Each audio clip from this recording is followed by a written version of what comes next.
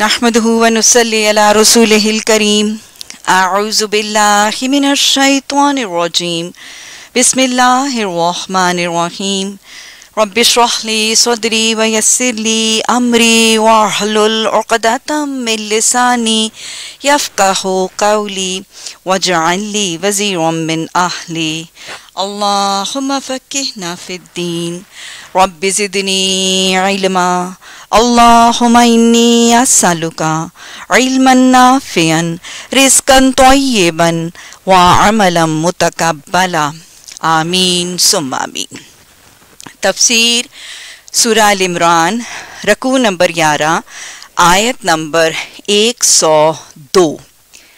102 या अय्युहल्लज़ीना आमनुत्तकुल्लाह हक्क तुकातिही वला तमूतुन्ना इल्ला व अंतुम मुस्लिमून ए लोगो जो ईमान लाए हो क्या करो इत्तकुल्लाह अल्लाह से डर जाओ तकवा का मुतालिबा और हुक्म दिया जा रहा है अल्लाह की किस चीज़ से डर जाओ उसकी नाराज़गी से, उसके गजब से, उसकी सजा से, उसकी पकड़ से, उसके इंतकाम से, उसके सवाल जवाब से, उसके सामने खड़े होने से, उसके नामने अमाल नामों के खुलने और तुलने और पूछ गिच से डर जाओ और डर के अल्लाह से बच जाओ, परहेजगारी इख्तियार करो। अगर हम देखें तो कुरान का ये हुक्म सुनने के बाद हम सब कहेंगे कि हम तो अल्लाह से डरते हैं। हम सबको तो अल्लाह का खौफ है। तो अल्लाह ने आगे वजाहत कर दी, कैसे डरो? हक का तो काते ही, जैसे कि उससे डरने का हक है। अल्लाह से डरने और अल्लाह के तकवा का हक क्या है? कि अल्लाह का डर तमाम चीज़ों के डर और खौफ पर गालिब हो जाए। जैसे मोमिन पे ईमान का पैमाना है ना, वल्लजीना आमनु अशद हब्बल्ला अल्लाह की मोहब्बत तमाम मोहब्बतों पर गालिब होगी। इसी तरह अल्लाह का डर और अल्लाह का खौफ भी तमाम खौफों और डर के ऊपर गालिब होगा। अल्लाह की नाराज़गी का डर, अपने घर वालों की नाराज़गी के डर से ज़्यादा होना है। अपने रिश्तेदारों को राज़ी करने का जो शौक है, वो अल्लाह को राज़ी करने का शौक उससे ज़्यादा होना है। अपने अजीज़ो अकारे पर अपनी सहेलियों के सवाल जवाब का डर कम और अल्लाह के हिसाब किताब का डर ज़्यादा, ये हक्का तुकाती ही है। और अल्लाह ने कहा, इस हक्का तुकाती ही की हालत में क्या करना? वला तमुतन्ना इल्ला व अंतुम मुस्लिमून, के तकवा की हालत में रहना। और तकवा का तकाजा यह है कि मौत तुम्हें अल्लाह की फर्मा बरदारी और अतात के अलावा किसी और हालत में ना आने पाए। ये जो आयात यहाँ पे नाजिल हुई, ये अगर हम इसको पिछली आयात के साथ रिलेट करें तो कल के सबक के जो बिल्कुल आखिरी सेशन में हमने बात की, वो क्या थी? अल्लाह सुबहाना ताला ने मदीना की बस्ती में मुसलमानों को उनका एक बहुत बड़ा दुश्मन यहूदी ग्रोह, जिनके दिलों में हसद और कीना और बोगज आ गया था, और वो मुसलमानों की दुश्मनी और अदावत पर ऐसे जम गए थे कि हर मनफी साजिश, हर डिफेमिंग टेक्निक और मुसलमानों के अंदर हर किस्म के इंतशार और बिगाड़ को क्रिएट करने पर वो डट गए थे। ऐसी हालत में एक इस्लामी रियासत और इस्लामी माशरे को अंदरूनी इंटरनल और बैरूनी एक्सटर्नल हर फितने, फसाद, इंतशार और बिगाड़ से रोकने का तरीका बताया जा रहा है कि अपनी इस्लामी रियासत को मज़बूत, महफूज और मुस्तहकम करने और दुश्मन की चालों से बचने के लिए क्या करो कि एक तो तुम किसी और से ना डरो, तुम सिर्फ़ अल्लाह से डरो जैसे कि डरने का हक है। सूरह बकरा में भी हमने पढ़ा कि अल्लाह सुबहाना ताला ने फरमाया तफला तख्शहुम बख्शौनी लियुतिम्म नेमती वला अल्लकुम ताहतदून। लोगों से ना डरा करो तुम मुझसे डरा करो ताकि मैं तुम पर अपनी नेमत की तकमील करूँ और मैं तुम्हें हदायत दूँ। यहाँ पर भी एक तो तकवा का और तकवा का हक का तुकाती ही करके इसका मुतालबा और हुक्म दिया जा रहा है। और साथ ही इस्लामी माशरे को अंदरूनी, बैरूनी हर किस्म के फितने, फसाद, इंतशार और दुश्मनों की चालों से बचाने के लिए अगला नुस्खा वा तसिमु बिहबलिल्ला अल्लाह की रस्सी को थाम लो। अल्लाह की रस्सी क्या है? हदीस से हमें पता चलता है कि इससे मुराद कुरान और हदीस की तालीमत हैं। तो अल्लाह सुबहाना ताला फरमा रहे हैं, हमें तरीक़ा कार लाए अमल सिखा रहे हैं। इस्लामी माशरे को मज़बूत और मुस्तहकम और मुतहद करने के लिए, सीसा पिलाई दीवार बनाने के लिए दुश्मनों के खिलाफ कि तुम अल्लाह की रस्सी कुरान और हदीस को थाम लो। और कैसे थामो? अकेले अकेले अपने अपने घरों में अपने नाजरा कुरान का अहतमाम करो, अपनी तहजद में कुरान की तलावत करो और ख़ुद भी पढ़ो या रमज़ान में कुरान की तकमील करो। अकेले अकेले नहीं ज़मीन सब मिलकर कुरान और हदीस की रस्सी को थाम लो। ये बिल्कुल वो माहौल है कि एक शख्स कुरान को थामता है, उसको पकड़ता है, उसके अहकाम को समझता है, उसका रस्सी का अगला सिरा दूसरे अपने अज़ीज़ और अपने भाई बहन को पकड़ाता है, वो उसको उसको पकड़ाता और यूँ पूरा इस्लामी माशरा जो है, वो एक रस्सी में परोकर मुसलमान क्या बन जाते हैं? उम्मत मुस्लिमा मुतहद मुतफिक हो जाती है और एक रस्सी में परोए हुए दानों की तरह बुनियान मरसूस और सीसा पिलाई दीवार बन जाती है। अल्लाह ने फरमाया वाह तस्मू बेहबल्ला जमिया सब मिलकर कुरान हदीस की रस्सी को थामो और थाम के क्या करो? वला तफर रखो फिरके ना बन जाना करो ना बन जाना, जमाते ना बन जाना, धड़े ना बन जाना, मसलक परस्ती और फिरका वारियत का शिकार ना हो जाना। अल्लाह सुबहाना तला ने यह नुस्खा सिखाया, लाए अमल बताया और फिर इस नुस्खे की बरक़ात और फयूस एक माशरे में जो नज़र आई थी, उसकी मिसाल बताई। अल्लाह के उस एहसान को याद करो जो उसने तुम पर किया। तुम तो एक दूसरे के दुश्मन थे। उसने तुम्हारे दिल जोड़ दिए और उसके फजल और करम से तुम भाई भाई बन गए। तुम आग से भरे हुए घड़े के किनारे खड़े थे। उसने तुम्हें बचा लिया। इस तरह अल्लाह अपनी निशानियाँ तुम्हारे सामने रोशन करता है। शायद है कि इन अलामतों से तुम्हें अपनी फलाह का सीधा रास्ता नज़र आ जाए। एक इस्लामी रियासत और माशरे के लिए उसके इस्तेकाम और उसकी हिफाजत के लिए फलाह का नुस्खा बताकर उसकी मिसाल देकर कि एक माशरे के अंदर जब ये लाए अमल लोगों ने अल्लाह की रस्सी थामी थी तो कैसे उनके मसाइल का हल को किया अल्लाह बता रहे कि याद करो कि तुम लोग आग के गड़े के किनारे खड़े थे और अल्लाह ने तुम्हारे दिल जोड़ दिए। कौन सा आग का गड़ा था और कौन से लोग आग के किनारे पर खड़े थे? इस मिसाल से क्या मुराद है? मदीना की बस्ती कबल अज इस्लाम, नबी सल्लल्लाहु अलैहि वसल्लम की तालीमत और कुरान के नूर के पहुँचने से पहले मदीना की बस्ती का हाल क्या था? औसर खजरज के दो मुश्रिक कबीले ये एक दूसरे के खून के प्यासे और जानी दुश्मन थे। और हाल क्या था? वो मैंने आपको सूरह बकरा में भी बताया कि 200 साल पुरानी एक जंगे बुआस का सिलसिला जारी था। ये इनके दस मारते थे, वो सौ मारते थे और हज़ारों की तादाद में कत्ल का सिलसिला और जंग का सिलसिला जारी था। लेकिन फिर ये सब खत्म कैसे हुआ?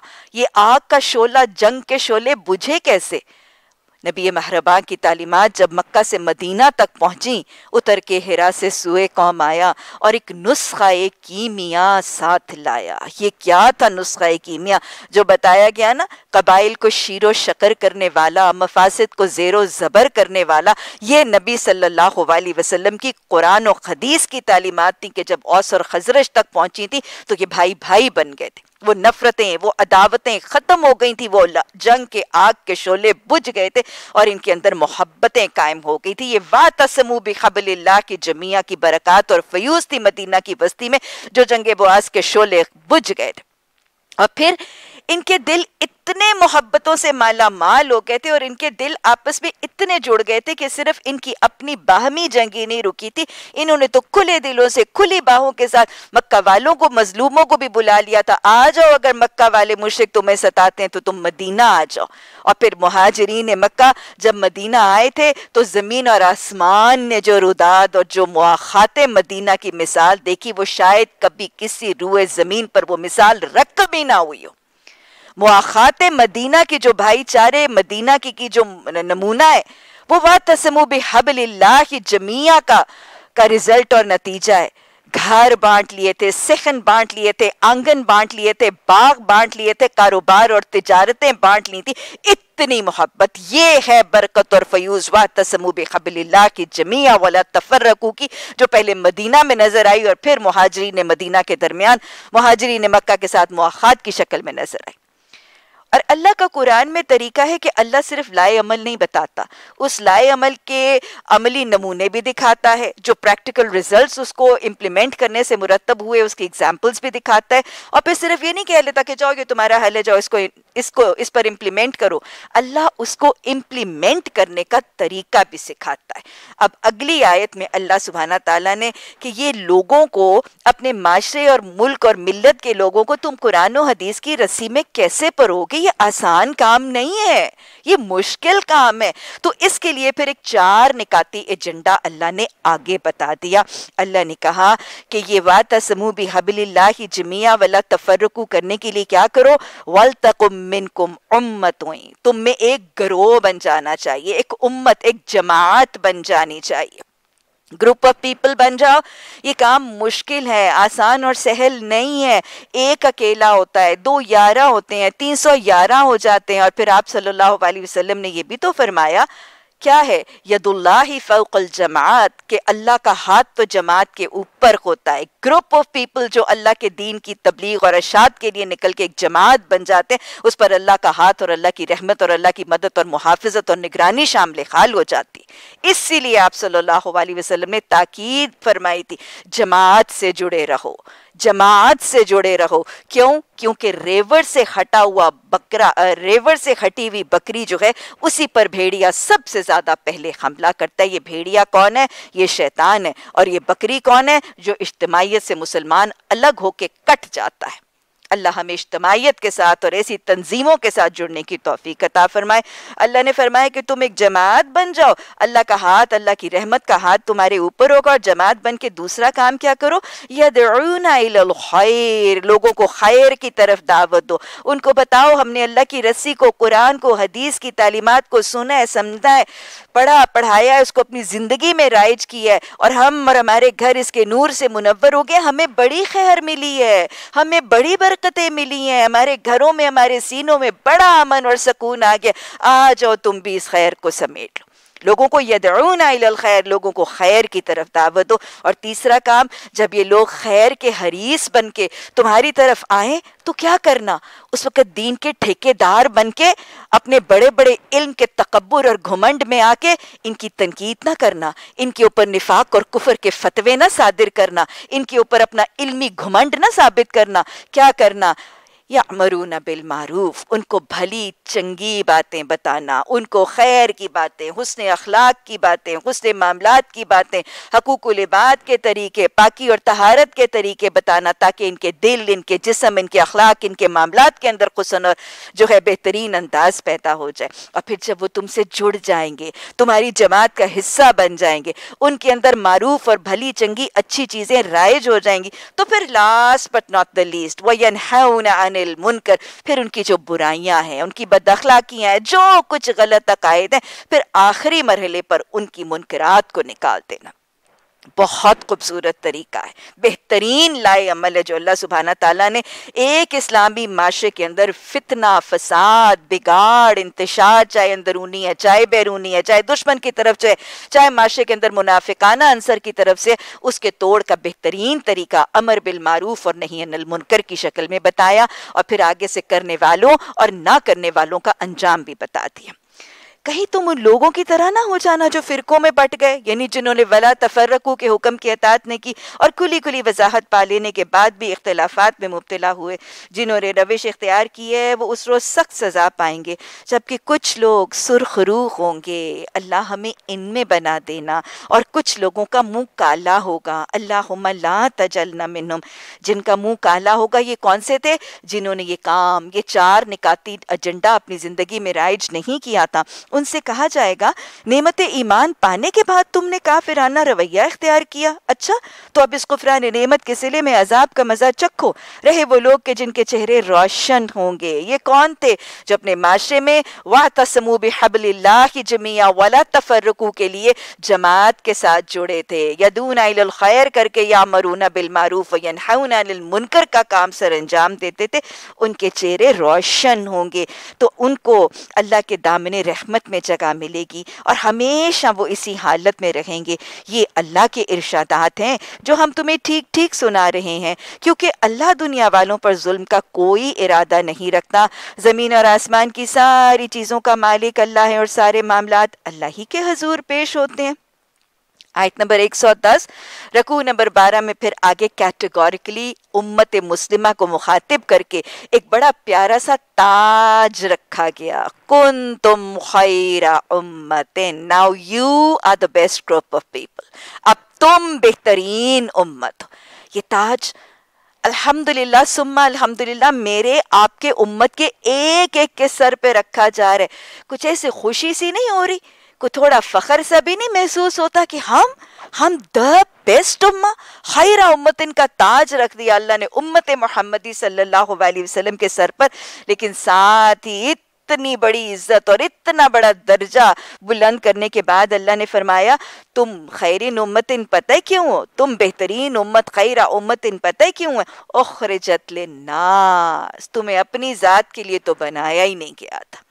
तुम्हें अपनी ज़ात के लिए कि तुम अपने जोड़े बनाते रहो, अपने हेयर स्टाइल सजाते रहो, अपने चेहरों को खूबसूरत बनाते रहो, अपने घरों को बनाते, भरते, सजाते, दिखाते रहो, अपनी गाड़ियों के मॉडल मोबाइलों के मॉडल बदलते रहो। नहीं, तुम्हें अपनी ज़िंदगी के लिए खुद पसंद ज़िंदगी और खुद खुद गर्जाना ज़िंदगी के लिए तो बनाया नहीं गया था। तुम तो हो ही पब्लिक प्रॉपर्टी उखरजत नास तुम्हें तो लोगों के लिए बनाया गया था। और लोगों के लिए बनाकर किस लिए? तुम्हें क्यों लॉन्च किया गया था कि तुम लोगों में क्या करो? तमरून बिल मारूफ अनिल मुनकर। तुम लोगों को भलाई और नेकी और खुदा के दीन के अहकाम बताओगे और उनको बुराइयों से रोकोगे। वह तो मिनूना बिल्ला, और फिर तुम अल्लाह पर ईमान लाओगे और लोगों को ईमान की तरफ़ माइल और कायल करोगे। ये वो फरीजा दीन है जिसकी वजह से मैं और आप खैर उम्मतिन का लकब दिए गए। अमर बिल मारूफ यानी नेकियों की बातें बताना, भलाई और खैर की बातें और प्रचार करना या अनिल मुनकर, बुराइयों से रोकना, मुनकरात से रोकना, हर गलत नापसंदीदा अल्लाह के हराम और गुनाह के काम से रोकना, ये है अमर बिल मारूफ और नहीं अनिल मुनकर। आपको बताऊँ, ये माशरे की सफ़ाई का काम है। ये एक माशरे, एक माहौल, एक कौम, एक मिल्लत की सफ़ाई का काम है और सफ़ाई बहुत अहम है। अतहूर शतर ईमान, तहारत तो निसफ ईमान है और अगर आप अपने इर्द गिर्द देखें तो अल्लाह सुबहाना ताला ने तो सफ़ाई का बेहतरीन इंतज़ाम मुरतब किया ना, पूरी कायनात में अगर हम देखें तो आबो हवा और माहौल गंदा हो जाता है तो बारिश बरसती है और फिर इसको साफ़ कर देती है। अगर एक कोई जानवर ज़मीन पे मर जाता है तो ज़मीन को उस गंदे जानवर की कसाफत से बचाने के लिए फ़ौर जो है वो चीलें, वो गिदें, वो स्केवेंजर्स वो हशरातुल अर्ज़ आते हैं, कीड़े मकोड़े और ज़मीन को साफ़ कर देते हैं उस गंदे, उसके जिसम की लाश से। हमारे जिसम के अंदर सफ़ाई का कितना इतमाम अल्लाह सुबहाना ताला ने किया। हमारी आँख के अंदर कोई गर्द गुबार, कोई मिट्टी का जर्रा चला जाता है, फ़ौरन वो आंसुओं के वो वाटर वर्क जो है वो चलते हैं और वो मिट्टी का जो जर्रा है वो आँखों से साफ़ हो जाता है। नाक में कुछ चला जाए तो छींक आ जाती है, हलक में कुछ चला जाए तो खांसी आ जाती है, कट लग जाता है जहाँ पे। तो जरासीम जहाँ से अंदर जाने हैं, वहाँ से बहता हुआ खून आते हैं और वो सारी गंदगी और जरासीम को धो डालते हमारे जिस्म के अंदर, हमारी कायनात के अंदर, इस कुर्रा अर्ज़ के अंदर अल्लाह सुबहाना ताला ने क्लीनिंग अप का और सफ़ाई का कितना एहतमाम किया। और फिर छोड़ दीजिए, अपने घरों में देखें, हमारे घरों में सफ़ाई का कितना एहतमाम है। घर में जब तक एक दफ़ा सफ़ाई नहीं हो जाती, हम खातन को तो ख़ास तौर पर सुकून ही नहीं आता। आपको बहुत दफ़ा ये एक्सपीरियंस हुआ होगा। आप लोगों को कुरान क्लास की दावत देते हैं, हदीस क्लास की दावत देते हैं मॉर्निंग सेशंस की दावत देते हैं। तो खातन का बुनियादी तौर पर नहीं उस वक्त तो हमारी मासियाँ आती हैं, सफ़ाई का वक्त होता है, हम घर से निकल नहीं सकते। और किचन को कितनी दफ़ा साफ़ करते हैं? पता नहीं, मेरा ख्याल है कम अज़ कम तीन चार दफ़ा तो हमारा किचन साफ़ होता है। तो जब ना ये माशरा ना ये माहौल, ना मेरा घर, ना मेरा किचन सफ़ाई के बगैर चल सकता है तो क्या माशरा एक सोसाइटी, ये अमर बिल मारूफ और नहीं अनिल मुनकर के काम के बगैर सरवाइव कर सकती है और फ्लारिश और प्रॉस्पर कर सकती है और तरक्की और कामयाबी से हमकिनार हो सकती है, हरगिज नहीं। इसी हवाले से आप सल्लल्लाहु अलैहि वसल्लम ने फरमाया कि तुम पर लाजिम है कि जब जुल्म को देखो तो अपने हाथ से रोको। अगर हाथ से नहीं रोक सकते हो तो अपनी जबान से रोको। और अगर जबान से नहीं रोक सकते तो कम अज कम दिल में बुरा महसूस करो। और आपने फरमाया कि ये ईमान का कमज़ोर तरीन दर्जा है। अल्लाह हमें इस कमज़ोर तरीन दर्जे से बचाए। और इस कमज़ोर तरीन दर्जे पर रहने का कोई पता नहीं, उसके बाद कहाँ पाँव स्लिप करेगा और उसके बाद जो है वो ईमान ख़त्म हो जाएगा। सल्लल्लाहु अलैहि वसल्लम ने वॉन फरमाया कि जब लोग जालिम को देखेंगे और उसका हाथ नहीं थामेंगे, यानी जुल्म हो रहे है, ज्यादती हो रही है, अल्लाह की नाफरमानियाँ, सरकशियाँ हदूद से तजावुज, हराम का इरतका खुल्लम खुल्ला हो रहा है। जब लोग जालिम को देखेंगे और उसका हाथ नहीं थामेंगे तो अल्लाह उन्हें आम अजाब देगा। यानी घुन, गेहूँ, सब पिस जाएगा। फिर सिर्फ़ रोकने वाले और ना रोकने वाले नहीं, फिर सब पिस जाएँगे। क्या ख्याल है, साहब सब का किस्सा भूल गए? कुछ मछलियाँ पकड़ते थे, कुछ रोकते नहीं थे और कुछ रोकते थे। कौन कूनो किरादतन खासईन बन गया था? जो मछलियाँ पकड़ते थे, वो भी बंदर और खंजीर बना, बंदर, जलील और रुसवा किए गए थे और जो रोकते नहीं थे, वो भी किए गए थे। ये है कि तुम्हें अल्लाह आम अजाब देगा। और फिर वो हदीस तो ऐसे जैसे जहनों में ना गाड़ लीजिए। रच बस जाए हमारे जहनों में। आप सल्लल्लाहु अलैहि वसल्लम ने फरमाया कि जब लोग जालिम को देखेंगे और उठ नहीं खड़े होंगे, जब लोग जालिम को देखेंगे और उठ नहीं खड़े होंगे तो अल्लाह सुबहाना ताला उन पर ऐसे हुक्मरान मुसलत कर देगा जो उनमें से बदतरीन the worst group of people in the society अल्लाह उनमें ऐसे हुक्मरान मुसलत कर देगा जो उनमें से बदतरीन होंगे। वो उनको सजाएँ देंगे, वो उनको अजियतें देंगे और कौम उनका कुछ नहीं बिगाड़ सकेगी। वो लोग दुआएँ करेंगे और उनकी दुआएँ कबूल नहीं होंगी। ये आज मेरे और आपके माशरे का हाल है।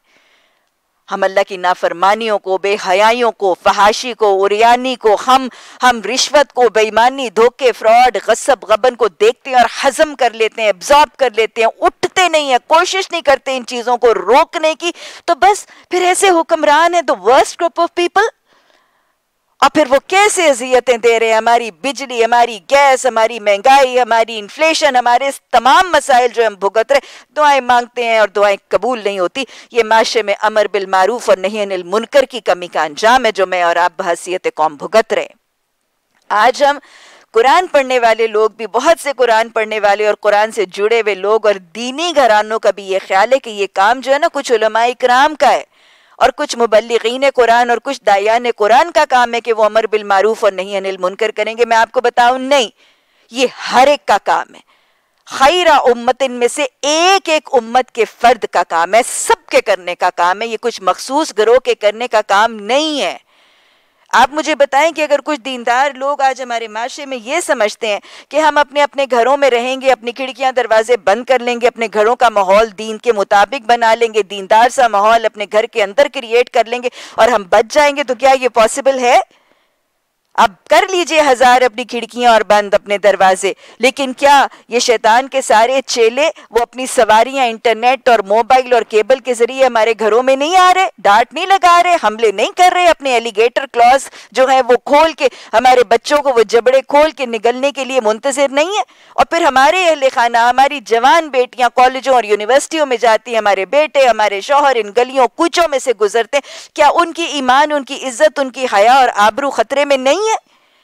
ये कुछ अफराद के करने का काम नहीं है। ये माशरे में सबके करने का काम है।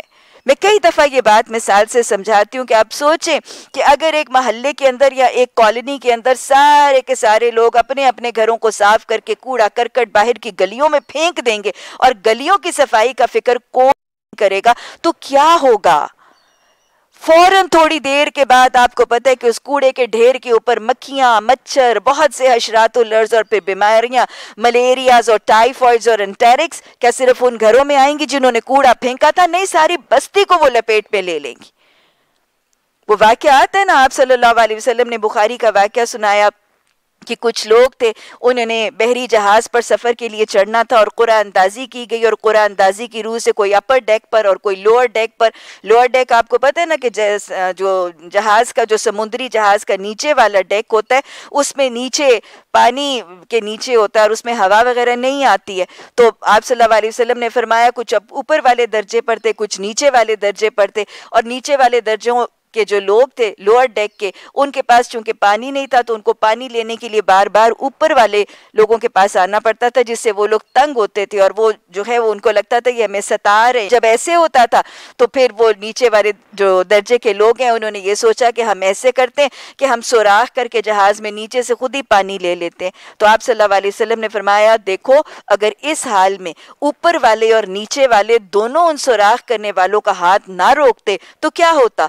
सभी गर्क हो जाते। जब उस जहाज़ में नकब लग जाएगा तो सभी गर्क होंगे। तो माशरे के अंदर बेहयाई के नकब लगाने वाले उरियानी फहाशी के नकब लगाने वाले, बातिल तरीके से माल खाने का नकब लगाने वाले सबके हाथ रोकने ज़रूरी है। वरना जैसे आज हम गर्क हैं, हम डूब रहे हैं, हम गोते खा रहे हैं समुंदर, बेहयाई के समुंदर के अंदर खाल है जिसको हम भुगत रहे हैं। और यही वो अल्लाह सुबहाना ताला ने हमें पैगाम दिया कि हर हर उम्मत मोहम्मदी सल्लल्लाहु अलैहि वसल्लम के फ़र्द को हिकमत से, मोहब्बत से, खैर खाही से और दानाई के साथ अमर बिल मारूफ और नहीं अनिल मुनकर का फरीज़ा सर अंजाम देना है। अल्लाह फरमाते हैं, तुम नेकी का हुक्म देते हो, बदी से रोकते हो, अल्लाह पर ईमान रखते हो, ये अहले ईमान ये अहले किताब ईमान लाते हो तो उन्हीं के हक में बेहतर था। अगरचे उनमें से कुछ लोग ईमानदार भी पाए जाते हैं, मगर उनमें से तो बेशतर अफराद नाफरमान है। ये तुम्हारा कुछ नहीं बिगाड़ सकते, ज़्यादा से ज़्यादा बस कुछ सता सकते हैं। ये अगर तुमसे लड़ेंगे तो मुकाबले में पीठ दिखा देंगे। फिर ऐसे बेबस होंगे कि कहीं से उनको मदद ना मिलेगी। अल्लाह आज हमारे दुश्मनों को ऐसा ही कर दे। अल्लाह उनको पीठ फेरने पर मजबूर कर दे। अल्लाह उनको बेबस कर दे। अल्लाह उनको कहीं से मदद ना मिले। ये जहाँ भी पाए गए, उन पर जिल्लत की मार पड़ी। कहीं अल्लाह के ज़िम्मे या इंसानों के ज़िम्मे पना मिल गई तो ये और बात है। ये अल्लाह के गज़ब में घिर चुके हैं। उन पर मोहताजी और मगलूबी मुसलत कर दी गई है। और ये सब कुछ सिर्फ़ इस वजह से हुआ कि ये अल्लाह की आयात का इनकार करते थे और उन्होंने पैगम्बरों को नाहक कत्ल किया। ये उनकी नाफरमानी और ज़्यादतियों का अंजाम था। मगर सारे अहले किताब तो यकसा नहीं, जहाँ अच्छा एलिमेंट है ना, अल्लाह उसकी कदरदानी भी कर रहा है। इनमें तो कुछ लोग ऐसे भी हैं जो राह रास्त पर कायम है, रातों को अल्लाह की आयात पढ़ते हैं, उसके आगे सजदा रेस होते हैं, अल्लाह और रोज़े आखरत पर ईमान लाते हैं, और फिर क्या करते उनके अंदर भी जो अच्छे एलिमेंट का अल्लाह कदरदानी कर रहे हैं, उनकी भी एक सिफ्त क्या है? वो क्या करते हैं? या मुरून बिल मारूफी अनिल मुनकर।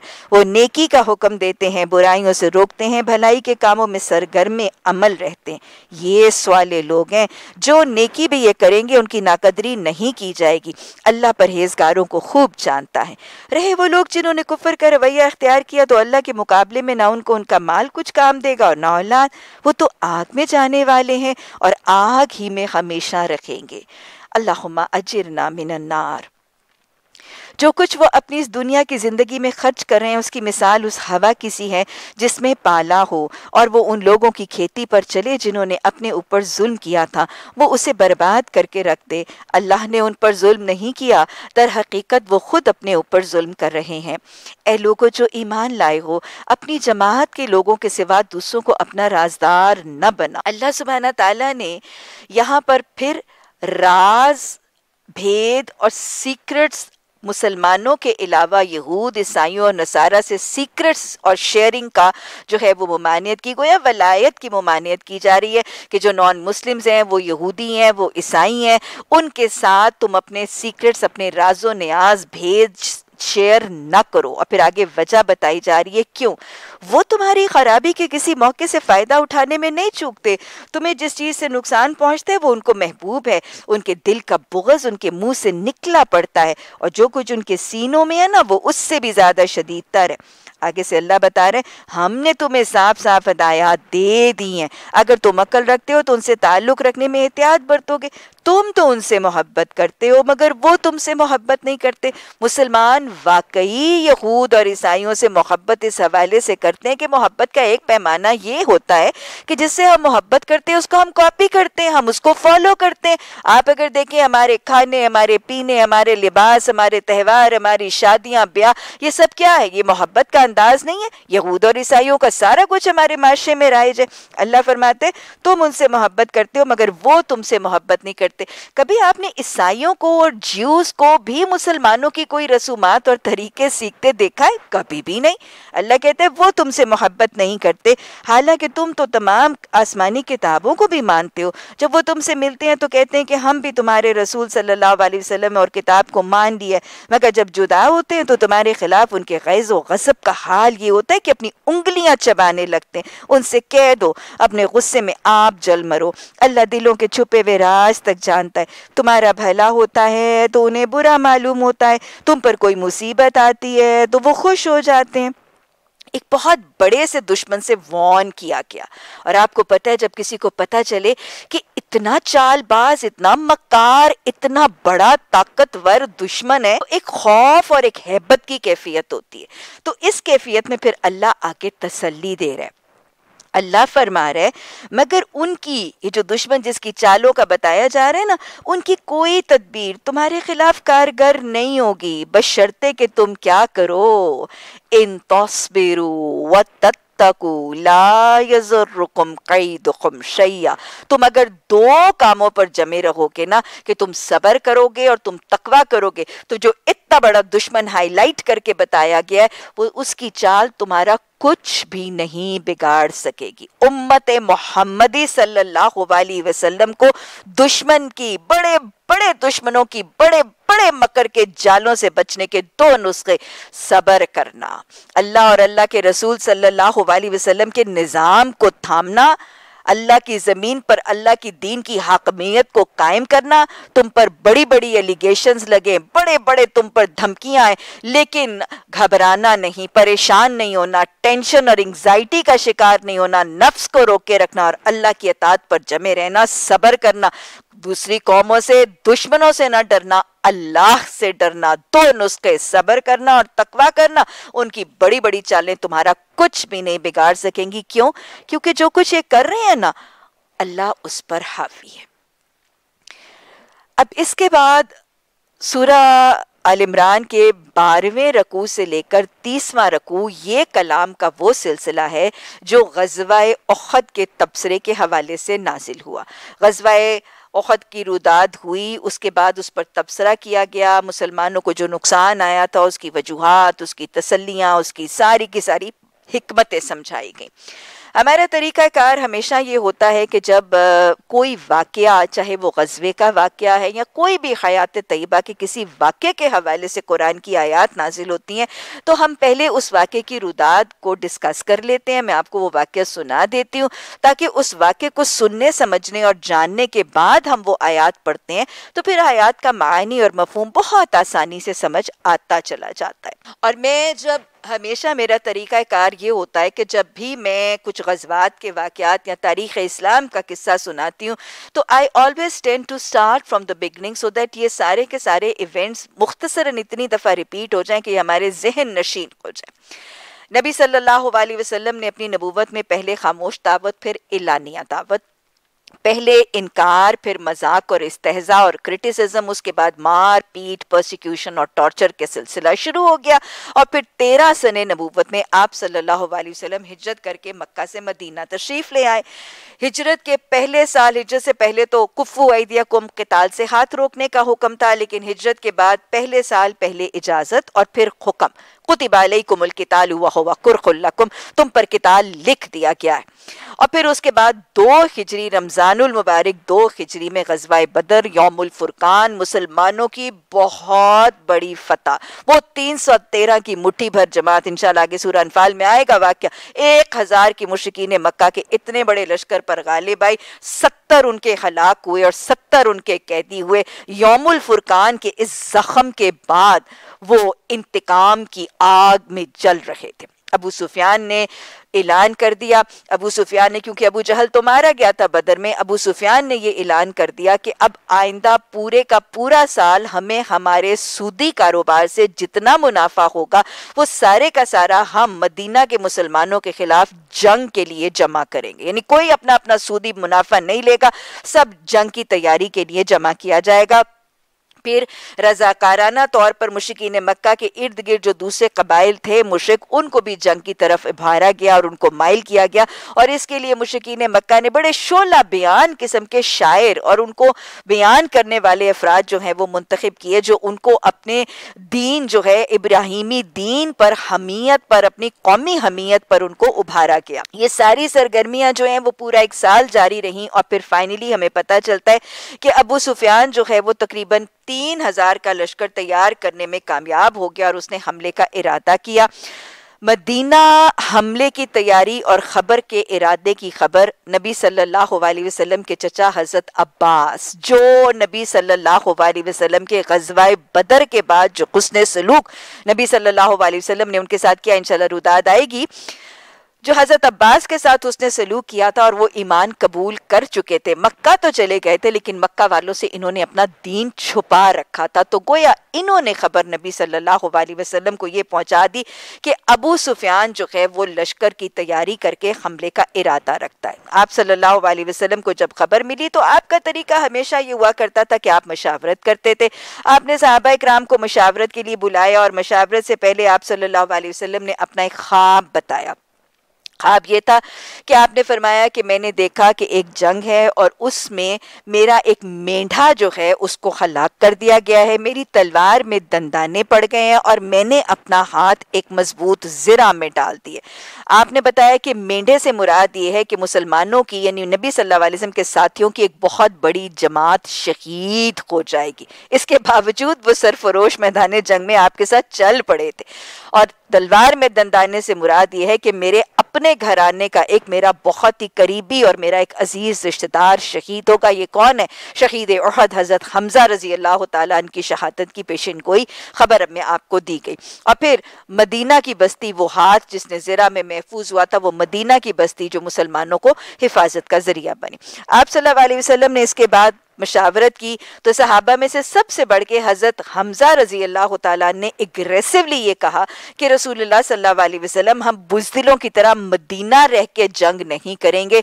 और हज़रत हमजा रज़ी अल्लाह ने तो यहाँ तक फरमा दिया कि खुदा की कसम, ना मैं खाऊँगा, ना मैं पीऊँगा, जिस वक्त तक आप ये फैसला नहीं करते कि हम मदीना से बाहर निकलकर बहादुरों की तरह, निडरों की तरह, जरूरतमंदों की तरह मुशिकी ने मक्का के लश्कर का इस्तकबाल नहीं करते, आगे बढ़ के। लिहाजा इस बात पर राय जो है वो कायम हुई कि मक्का रहकर मदीना रहकर जंग नहीं होगी, मैदान उखद की तरफ़ कूच किया गया। और जैसे आप रुदादे अब मेरे से इन मदनी सूरतों में सुनते रहेंगे गजबात की, हमें पता चलता है कि अल्लाह के रसूल सल्लल्लाहु अलैहि वसल्लम का वो जो कट ऑफ़ एज थी वो पंद्रह साल थी। पंद्रह साल से जो कम उम्र बच्चे थे, उनको मैदान जंग में जाने की इजाज़त नहीं दी जाती थी। इस दफ़ा भी वही रूल था। छोटे बच्चे जैसे हज़रत अब्दुल्ला बिन उमर, हज़रत उसामा बिन जैद, हज़रत जैद बिन अरकम, ये वो लोग थे, वो सहाबी थे जो अभी छोटी उम्र के थे, लेकिन जाने के लिए तड़प रहे थे, लेकिन इनको इजाज़त नहीं दी गई थी। अब वो दो बच्चों का वाक्य बड़ा प्यारा है, हज़रत सुमरा बिन जुंदब और हज़रत राफे बिन खुदैज। हज़रत राफे बिन खुदैज जो है ना, ये दोनों बच्चे जाना चाह रहे थे, लेकिन हज़रत राफे बिन खुदैज ज़रा ऊँचे कद के थे। अपनी उम्र में कई लोग होते हैं ना, ज़रा स्ट्रक्चर और हाइट लंबी होती है तो इन्होंने अपने साथी सहाबा कराम से कह के ला के, जिसे कहते हैं ना, सिफारिश करवा के, ये मैदान जंग में जाने की इन्होंने इजाज़त ले ली देख लीजिए। उस जमाने में इन नौजवान बच्चों और यूथ की सिफारिशों के पैमाने क्या थे कि मैदान जंग में और जिहाद में जाने की इजाज़त दे दी जाए? आज हमारे यहाँ बच्चों के लिए सिफारिशें होती हैं, कोई एचएसएन कॉलेज के दाखिले के लिए, कोई जॉब्स के लिए, कोई प्रमोशंस के लिए, यहाँ पे मैदान जंग और कताल की इजाज़तों के लिए सिफारिशें हो रही हैं। हज़रत राफे को जब इजाज़त मिल गई तो उनके साथी जो थे, बिल्कुल वही उम्र थी, हज़रत सुमर्रा बिन जुंदुब, वो फ़ौर नबी अलैहि वसल्लम की खिदमत में हाजिर हुए और उन्होंने कहा कि या रसूल सल्लल्लाहु अलैहि वसल्लम हज़रत राफे का कि उनको इजाज़त दे दी गई है। हालाँकि हम हम उम्र है। हम हम उम्र है। और उनको पता था कि उनको उनके लंबे कद की वजह से इजाज़त दी गई और जिसमानी डील डोल की वजह से इजाज़त दी गई है। तो फ़ौरन ही हज़रत समूरा रज़ी अल्लाह ताला ने फरमाया रसूल सल्लल्लाहु अलैहि वसल्लम, मेरी और राफे की कुश्ती करा लीजिए। मेरी और राफे की कुश्ती करा लीजिए। और अगर मैंने उसको पिछाड़ दिया तो फिर मुझे भी मैदान जंग में जाने की इजाज़त, मरहमत फरमाइएगा। आप सल्लल्लाहु अलैहि वसल्लम हल्का सा मुस्कुराए अपने कुश्ती की इजाज़त दी, हज़रत सुमूरा ने फ़ौरन दाव लगाया और हज़रत राफे को चित कर दिया और मैदान जंग में जाने में कामयाब हो गए। मुकाबले, आज स्कूलों और कॉलेजों के बच्चों के मुकाबले, अपने आईफोन के ब्रांड्स अपनी गाड़ी के मॉडल अपनी हॉलीडे हमने कहाँ की और कहाँ नहीं की, इस पर आज मुकाबले है। वहाँ पर मुकाबले मैदान जंग में जाने और शहादत की शौक के मुकाबले थे। इन बच्चों का खमीर जिन माओ ने उठाया था, वो माए फ़र्क थी। इनकी घुट्टी में शहादत का शौक, इनकी घुट्टी में मोहम्मद सल्लल्लाहु अलैहि वसल्लम के दीन की हिफाजत जो है लोरियों में सुनाई थी, माँ ने इनको, अल्लाह हमें ऐसी माएँ बना दे, अल्लाह हमें ऐसी माएँ बना दे। अब ये लश्कर जब चला तो बारह शवाल तीन हिजरी, बारह शवाल को ये लश्कर जो है मुसलमानों का। हाँ जी ये भी हुआ कि एक हज़ार का लश्कर मदीना से तो निकला था, लेकिन मुनाफिकीन चूँकि मशवरा ये दे रहे थे कि मदीना ही में रहकर जंग की जाए तो हाफ़ थ्रू अब्दुल्ला बिन उबई तकरीबन अपने सवा दो सौ लोगों को लेकर वापस पलट आया था मदीना, और ये तकरीबन साढ़े सात सौ लोगों का लश्कर अब ओहद के मैदान में पहुँचा। ओहद का मैदान जो है वो मक्का से तकरीबन मदीना से तकरीबन चार मील के फासले पर है। एक बड़ा सा बिल्कुल एक रेगिस्तानी सा जो मैदान है और उसके साइडों के ऊपर एक पहाड़ी सिलसिला है। और फिर ये ओहद का पहाड़ एक ऊँचा सा उस पहाड़ी सिलसिले का पहाड़ है। बिल्कुल बंजर, इसके ऊपर हल्की सी कोई कांटेदार झाड़ियाँ हैं। आप सल्लल्लाहु अलैहि वसल्लम जब यहाँ पहुँचे तो आपने ओहद पहाड़ को देखकर फरमाया, ये ओहद पहाड़ है, ये हमसे मोहब्बत करता है, हम इससे मोहब्बत करते आप सल्लल्लाहु अलैहि वसल्लम ने फिर पूरे का पूरा वो जंगी जो आपने टैक्टिक्स इस्तेमाल की माना सी जंगी टैक्टिक्स थी जो अल्लाह के रसूल वसल्लम को वकी के ज़रिए बताई गई थी। एक मुकम्मल पहाड़ी सिलसिला था जो मुसलमानों के पुश्त पर था और उस पहाड़ी सिलसिले के दरमियान सिर्फ़ एक माउंटेन पास या दर्रा था ऑब्वियसली जो एक गैर महफूज ज़रिया था जिसके ज़रिए दुश्मन पुष्ट से हमला कर सकते थे। आप सल्लल्लाहु अलैहि वसल्लम ने उस माउंटेन पास और जो पहाड़ी दर्रा था, उस पर हज़रत अब्दुल्ला बिन जुबैर रज़ी अल्लाह तन की क़यादत में 30 से 40 जो आर्चर्स या तीर अंदाज थे, उनको उस दर्रे पर मुकर किया और उनको बड़ी specific guided one to one instructions दी। आप सल्लल्लाहु अलैहि वसल्लम ने फरमाया, देखो, उन तीर अंदाजों को हज़रत अब्दुल्ला बिन जुबैर को मुखातिब करके आपने फरमाया, देखो, हमारे पुश्त की हिफाजत तुम्हारे ज़िम्मे है। तुम अपनी जगह से मत हटना जब तक तुम्हें मैदान जंग से कोई हुक्म ना आए। और अगर तुम देखो कि मैदान जंग में हमारी बोटियाँ भी नोची जा रही हैं तो अपनी जगह से ना हटना जब तक तुम्हें हटने का हुक्म ना दिया जाए। और ये कहने के बाद आप सल्लल्लाहु अलैहि वसल्लम ने आसमान की तरफ़ निगाह की और आपने फरमाया, अल्लाह गवाह रहना। बहुत बड़ी बात। स्पेसिफिक गाइडेंस थी, बहुत बहुत फोकस्ड गाइडेंस थी, और फिर अल्लाह को गवाह बनाया। इसके बाद आप सल्लल्लाहु अलैहि वसल्लम ने मुसलमानों के लश्कर की प्लेसिंग की। हज़रत अली रज़ी अल्लाह मेमना में, यानी राइट में, हज़रत मकदाद बिन असवद लेफ़्ट में, मैसरा में और कल्ब और सेंटर में हज़रत हमजा रज़ी अल्लाह को मुखातिब जो है वो मुकर फरमाया। और फिर आपने बहुत ही खूबसूरत सा एक ईमान अफरोज़ खुतबा भी इरशाद फरमाया और फिर आपने अपनी तलवार निकाली और आपने फरमाया, आज कौन है जो मुझसे मेरी तलवार लेगा? आपने जब तलवार निकाली तो दो सहाबी फ़ौरन ही आगे आए, एक हज़रत अब्दुल्ला बिन ज़ुबैर रज़ी अल्लाह ताला और एक हज़रत अबू दुजाना। हज़रत अब्दुल्ला फरमाते हैं कि मैं भी आगे बढ़ा और मैं बहुत हरीस था कि मैं सैफ रसूल सल्लल्लाहु अलैहि वसल्लम लूँ, लेकिन आपने बताया और आप सल्लल्लाहु अलैहि वसल्लम ने फरमाया, लेकिन मेरी तलवार का एक हक है। और वो हक क्या था? जरा देखिएगा, गौर से सुनिएगा। वो जो लोग कहते हैं ना कि इस्लाम टेररिज्म और दहशत गर्दी सिखाता है, सैफ रसूल सल्लल्लाहु अलैहि वसल्लम का हक आपने फरमाया। मेरी तलवार का हक ये है कि वो कसरत कताल से, यानी जंग में लड़ने से, वो कसरत कताल से टेढ़ी हो जाएगी, उसमें दंदाने पड़ जाएँगे, लेकिन दुश्मनों की सफ़ों की सफ़े काटती और चीरती चली जाएगी। लेकिन मेरी तलवार का हक ये है कि वो किसी औरत, किसी बच्चे, किसी बूढ़े और ज़यीफ के खून में आलूदा नहीं होगी। हज़रत जुबैर फरमाते हैं कि हक बहुत बड़ा था और एहतियात बहुत ज़्यादा थी। मैं तो रुक गया। हज़रत अबू दुजाना आगे बढ़े और उन्होंने नबी सल्लल्लाहु अलैहि वसल्लम के दस्ते मुबारक से वो तलवार ली और फिर तलवार लेके उसको हवा में लहराते हुए बड़े अकड़ के चल रहे थे। आप सल्लल्लाहु अलैहि वसल्लम ने फरमाया, आज अबू दुजाना के अकड़ के चलने से ज़्यादा अल्लाह को किसी के अकड़ का च, अकड़ के चलना ज़्यादा पसंद नहीं क्योंकि ये इस्लाम के रोब और कुत के लिए इजहार के लिए था। बहरहाल हज़रत ज़ुबैर फरमाते हैं कि मैंने देखा कि अबू दुजाना ने वाकई रज़ी अल्लाह उन्होंने इसका हक अदा किया कि वो जिस तरफ़ जाते थे वो दुश्मनों की गर्दनें काटते चले जाते थे सफ़ों की सफ़ें चीरते चले जा रहे थे और उनकी तलवार में दंदाने भी पड़ गए थे टेढ़ी भी हो गई थी और वो एक तरफ़ गए वो सवार थे उन्होंने एक मुश्क औरत औरत के ऊपर जब अपनी तलवार उठाई, उसने चीख मारी तो उन्हें फ़ौरन उसका हक याद आ गया और उन्होंने उस औरत पर हमला करने से अपनी तलवार को रोक दिया। ये हज़रत अबू दुजाना थे जिन्होंने खत तो अदा किया, लेकिन ये सहाबी, वो सहाबी थे कि जब ये फस्त अबिकुल खैरात नेकी और भलाइयों में दौड़ लगाते थे ना तो जब इनसे कोई आगे निकल जाता था तो फिर ये मायूस और नाउमीद नहीं होते थे। फिर ये कोई और काम करने के लिए हरीस हो जाते थे।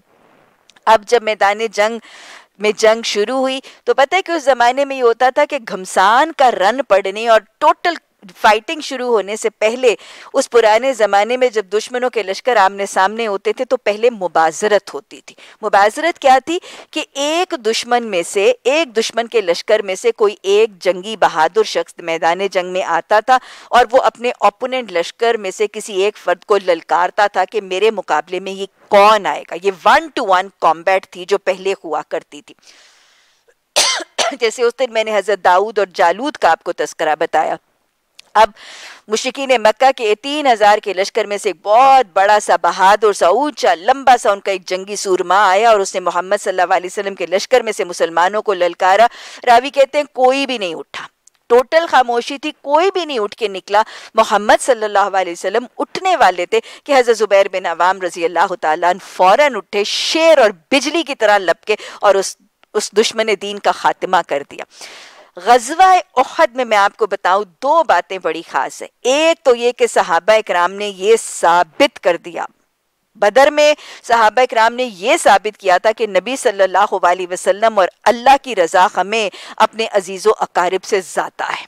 और उहद में सहाबा कराम ने यह साबित कर दिया था कि मोहम्मद सल्लल्लाहु अलैहि वसल्लम हमें अपनी ज़ात से भी ज़्यादा महबूब है। एक ये तो इम्तियाज़ है गजवा उहद का। और दूसरी बात यह है कि इसमें नबी सल्लल्लाहु अलैहि वसल्लम ने ऐसे जैसे लकब बांटे थे। ऐसे सहाबा इकराम को लकब बांटे। हज़रत जुबैर बिन अवाम ने जब उस मशरक को ढेर किया तो आप सल्लल्लाहु अलैहि वसल्लम ने फरमाया, हर नबी का एक हवारी होता है और मेरा हवारी जुबैर बिन अवाम रज़ी अल्लाह तन है ये कौन थे? ये हज़रत खदीजा रज़ी अल्लाह तहा के भतीजे थे। हाँ हवारी तो बनना ही था ना। जब फुप्पी भतीजा हो तो हवारी भतीजे ने कैसे नहीं बनना था? हज़रत अवाम बिन खवैलत के बेटे थे और फिर इनकी वालदा कौन है? हज़रत सफ़िया रसूल सल्ला वसलम की पुप्पी हज़रत जुबैर की वालदा है। और इनका निकाह फिर हुआ था हज़रत इस्मा बिनते बकर के साथ। ये खानदानी औरतें, ये नस्लें और थी ये अफरादी औरतें, अल्लाह हमें इन खानदानों की पहचान अता फरमा उसके बाद फिर वो जंग जब शुरू होती है तो हम देखते हैं कि मुसलमानों ने बड़ी जुर्रत और सरफरोशी का मुजाहरा किया और फिर शहादतों का सिलसिला शुरू हुआ। सबसे पहले शहादत जो काबिल ज़िक्र है, शहीद अहद हज़रत हमज़ा रज़ी अल्लाह तन की शहादत। वो हिंद ने अपने बदर का इंतकाम लेने के लिए एक हबशी ग़ुलाम, जिसका नाम वहशी था, उसको उसकी आज़ादी की कीमत का वादा करके हज़रत हमज़ा रज़ी अल्लाह तन को शहीद करने की तरफ़ माइल किया था, उसने अपने खंजर को और अपने नेज़े को जहर पिला रखा था और उसने हमजा करके हज़रत हमज़ा को शहीद किया। हिंद को जब खबर मिली थी तो वो मैदान जंग में आई और हज़रत हमजा रज़ी अल्लाह तन के जिसम के पास बैठी। उसने अपने चाकू के साथ उनका सीना और उनका पेट चाक किया, कलेजा निकाला अपने हाथ के साथ। और हदीस में हमें रावियान बताते हैं कि वो हज़रत हमजा रज़ी अल्लाह तन के कलेजे को अपने दांतों से एक नोच नोच के काटती जा रही थी और थुकती चली जा रही थी।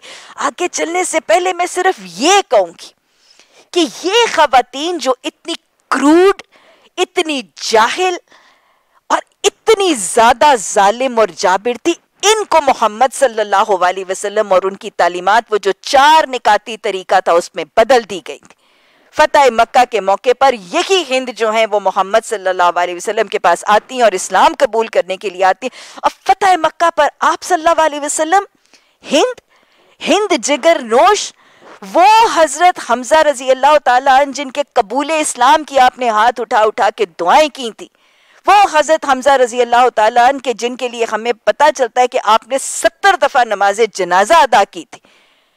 हिंद जिगर नोश जब फतेह मक्का के मौके पर आती हैं तो आप फरमाते हैं, मरहबा, वेलकम टू इस्लाम, हिंद। ये वही है, खताकार से दरगुजर करने वाला बदंदेश के दिल में घर करने वाला। माफ़ करने का अंदाज। कितनी टॉलरेंस कितना तहमुल I refer back to this आज के सबक में।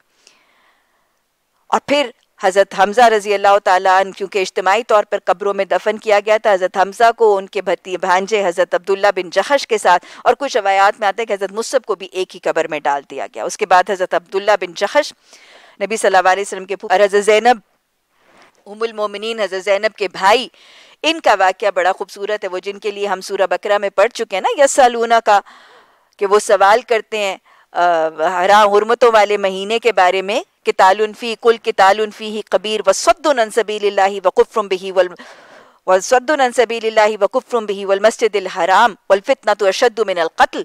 और वो वाक्य कि कैसे हज़रत अब्दुल्ला बिन जहश ने नेक नियति के साथ दुश्मनों को कत्ल किया था तो अल्लाह ने बिरात का इजहार किया था, ये वही हज़रत अब्दुल्ला बिन जहश है। इनका वाक्य हज़रत साद बिन नबी वकास फरमाते हैं, कहते हैं कि मैं मैदान में गया तो मैंने हज़रत अब्दुल्ला को बैठे हुए, खामोश अकेले बैठे हुए देखा और मैंने हाल पूछा तो उन्होंने कहा, मुझे जन्नत की खुशबू आ रही है। साथ ऐसे करो। तुम एक दुआ मांगो, मैं आमीन कहता हूँ। मैं एक दुआ मांगूँगा, तुम आमीन कहो। और फिर कहते हैं कि पहले तुम दुआ करो, मैं फिर दुआ करूँगा। हज़रत साद रज़ी अल्लाह ताला ने पहले दुआ की कि इलाही कल जब मैदान जंग गर्म हो तो मेरे मुकाबले में एक बड़ा बहादुर, कड़ियल नौजवान दुश्मन भेजना। वो मुझसे लड़े, मैं उससे लड़ूँ, मैं उसे मारूँ, वो मुझे मुझे मारे और फिर मुझे गलबा देना और मैं उसे हलाक करूँ और मैं गाजी बन के तुझे राज़ी करूँ। हज़रत अब्दुल्ला ने आमीन कह, उसके बाद हज़रत अब्दुल्ला रज़ी अल्लाह ताला ने दुआ की और फरमाया कि, इलाही, कल जब मैदान जंग गर्म हो तो मेरे मुकाबले में भी एक बड़ा बहादुर कड़ियल नौजवान दुश्मन भेजना। वो मुझसे लड़े, मैं उससे लड़ूं, वो मुझे मारे, मैं उसे मारूं, और फिर मुझे उसे मुझ पर गलबा देना, वो मुझे शहीद कर दे, वो मुझे शहीद कर दे, और फिर वो मेरा नाक, मेरे कान काटे, और मैं क़यामत के दिन उस कटे हुए नाक और कान के साथ तेरे सामने हाजिर, रिश्ते हुए खून के साथ तेरे सामने हाजिर हूँ और तू मुझसे सवाल करे, अब्दुल्ला, तेरे नाक और तेरे कान क्या हुए? और मैं कहूँ, अल्लाह तेरी राह में कुर्बान हुए। और अल्लाह, तू मेरे उस रस्ते हुए खून को देखकर कहे, अब्दुल्ला सदकता, कि अब्दुल्ला तूने सच कहा, कि अल्लाह क्यामत के दिन तू मेरे उस उस कुर्बानी को और मेरी उस शहादत को और मेरे जिस्म के उस मुसले को और मेरे राह हक में बहाए हुए खून की अल्लाह तू तस्दीक कर दे, अब्दुल्ला सदकता। हज़रत साद रज़ी अल्लाह ताला ने आमीन कह दिया। हज़रत साद फरमाते हैं कि बिल्कुल ऐसे ही हुआ। मेरे मुकाबले में एक दुश्मन आया और मैंने उसे हलाक किया और मैं खुद ज़िंदा रहा और मैं गाजी बना और मैंने देखा कि हज़रत अब्दुल्ला के लिए भी बिल्कुल वैसे ही हुआ। एक बड़े कड़ियल नौजवान के साथ हज़रत अब्दुल्ला का मुकाबला हुआ। उसने हज़रत अब्दुल्ला को शहीद किया और हज़रत साद बिन नबी वकास ने तस्दीक भी की कि उसने नाक और कान काटे और मैंने एक दरख्त के ऊपर, एक दरख्त की टहनी के साथ एक रस्सी में परोए हुए देखे तो मैंने कहा, अब्दुल्ला, तेरी दुआ मेरी दुआ से बेहतर रही।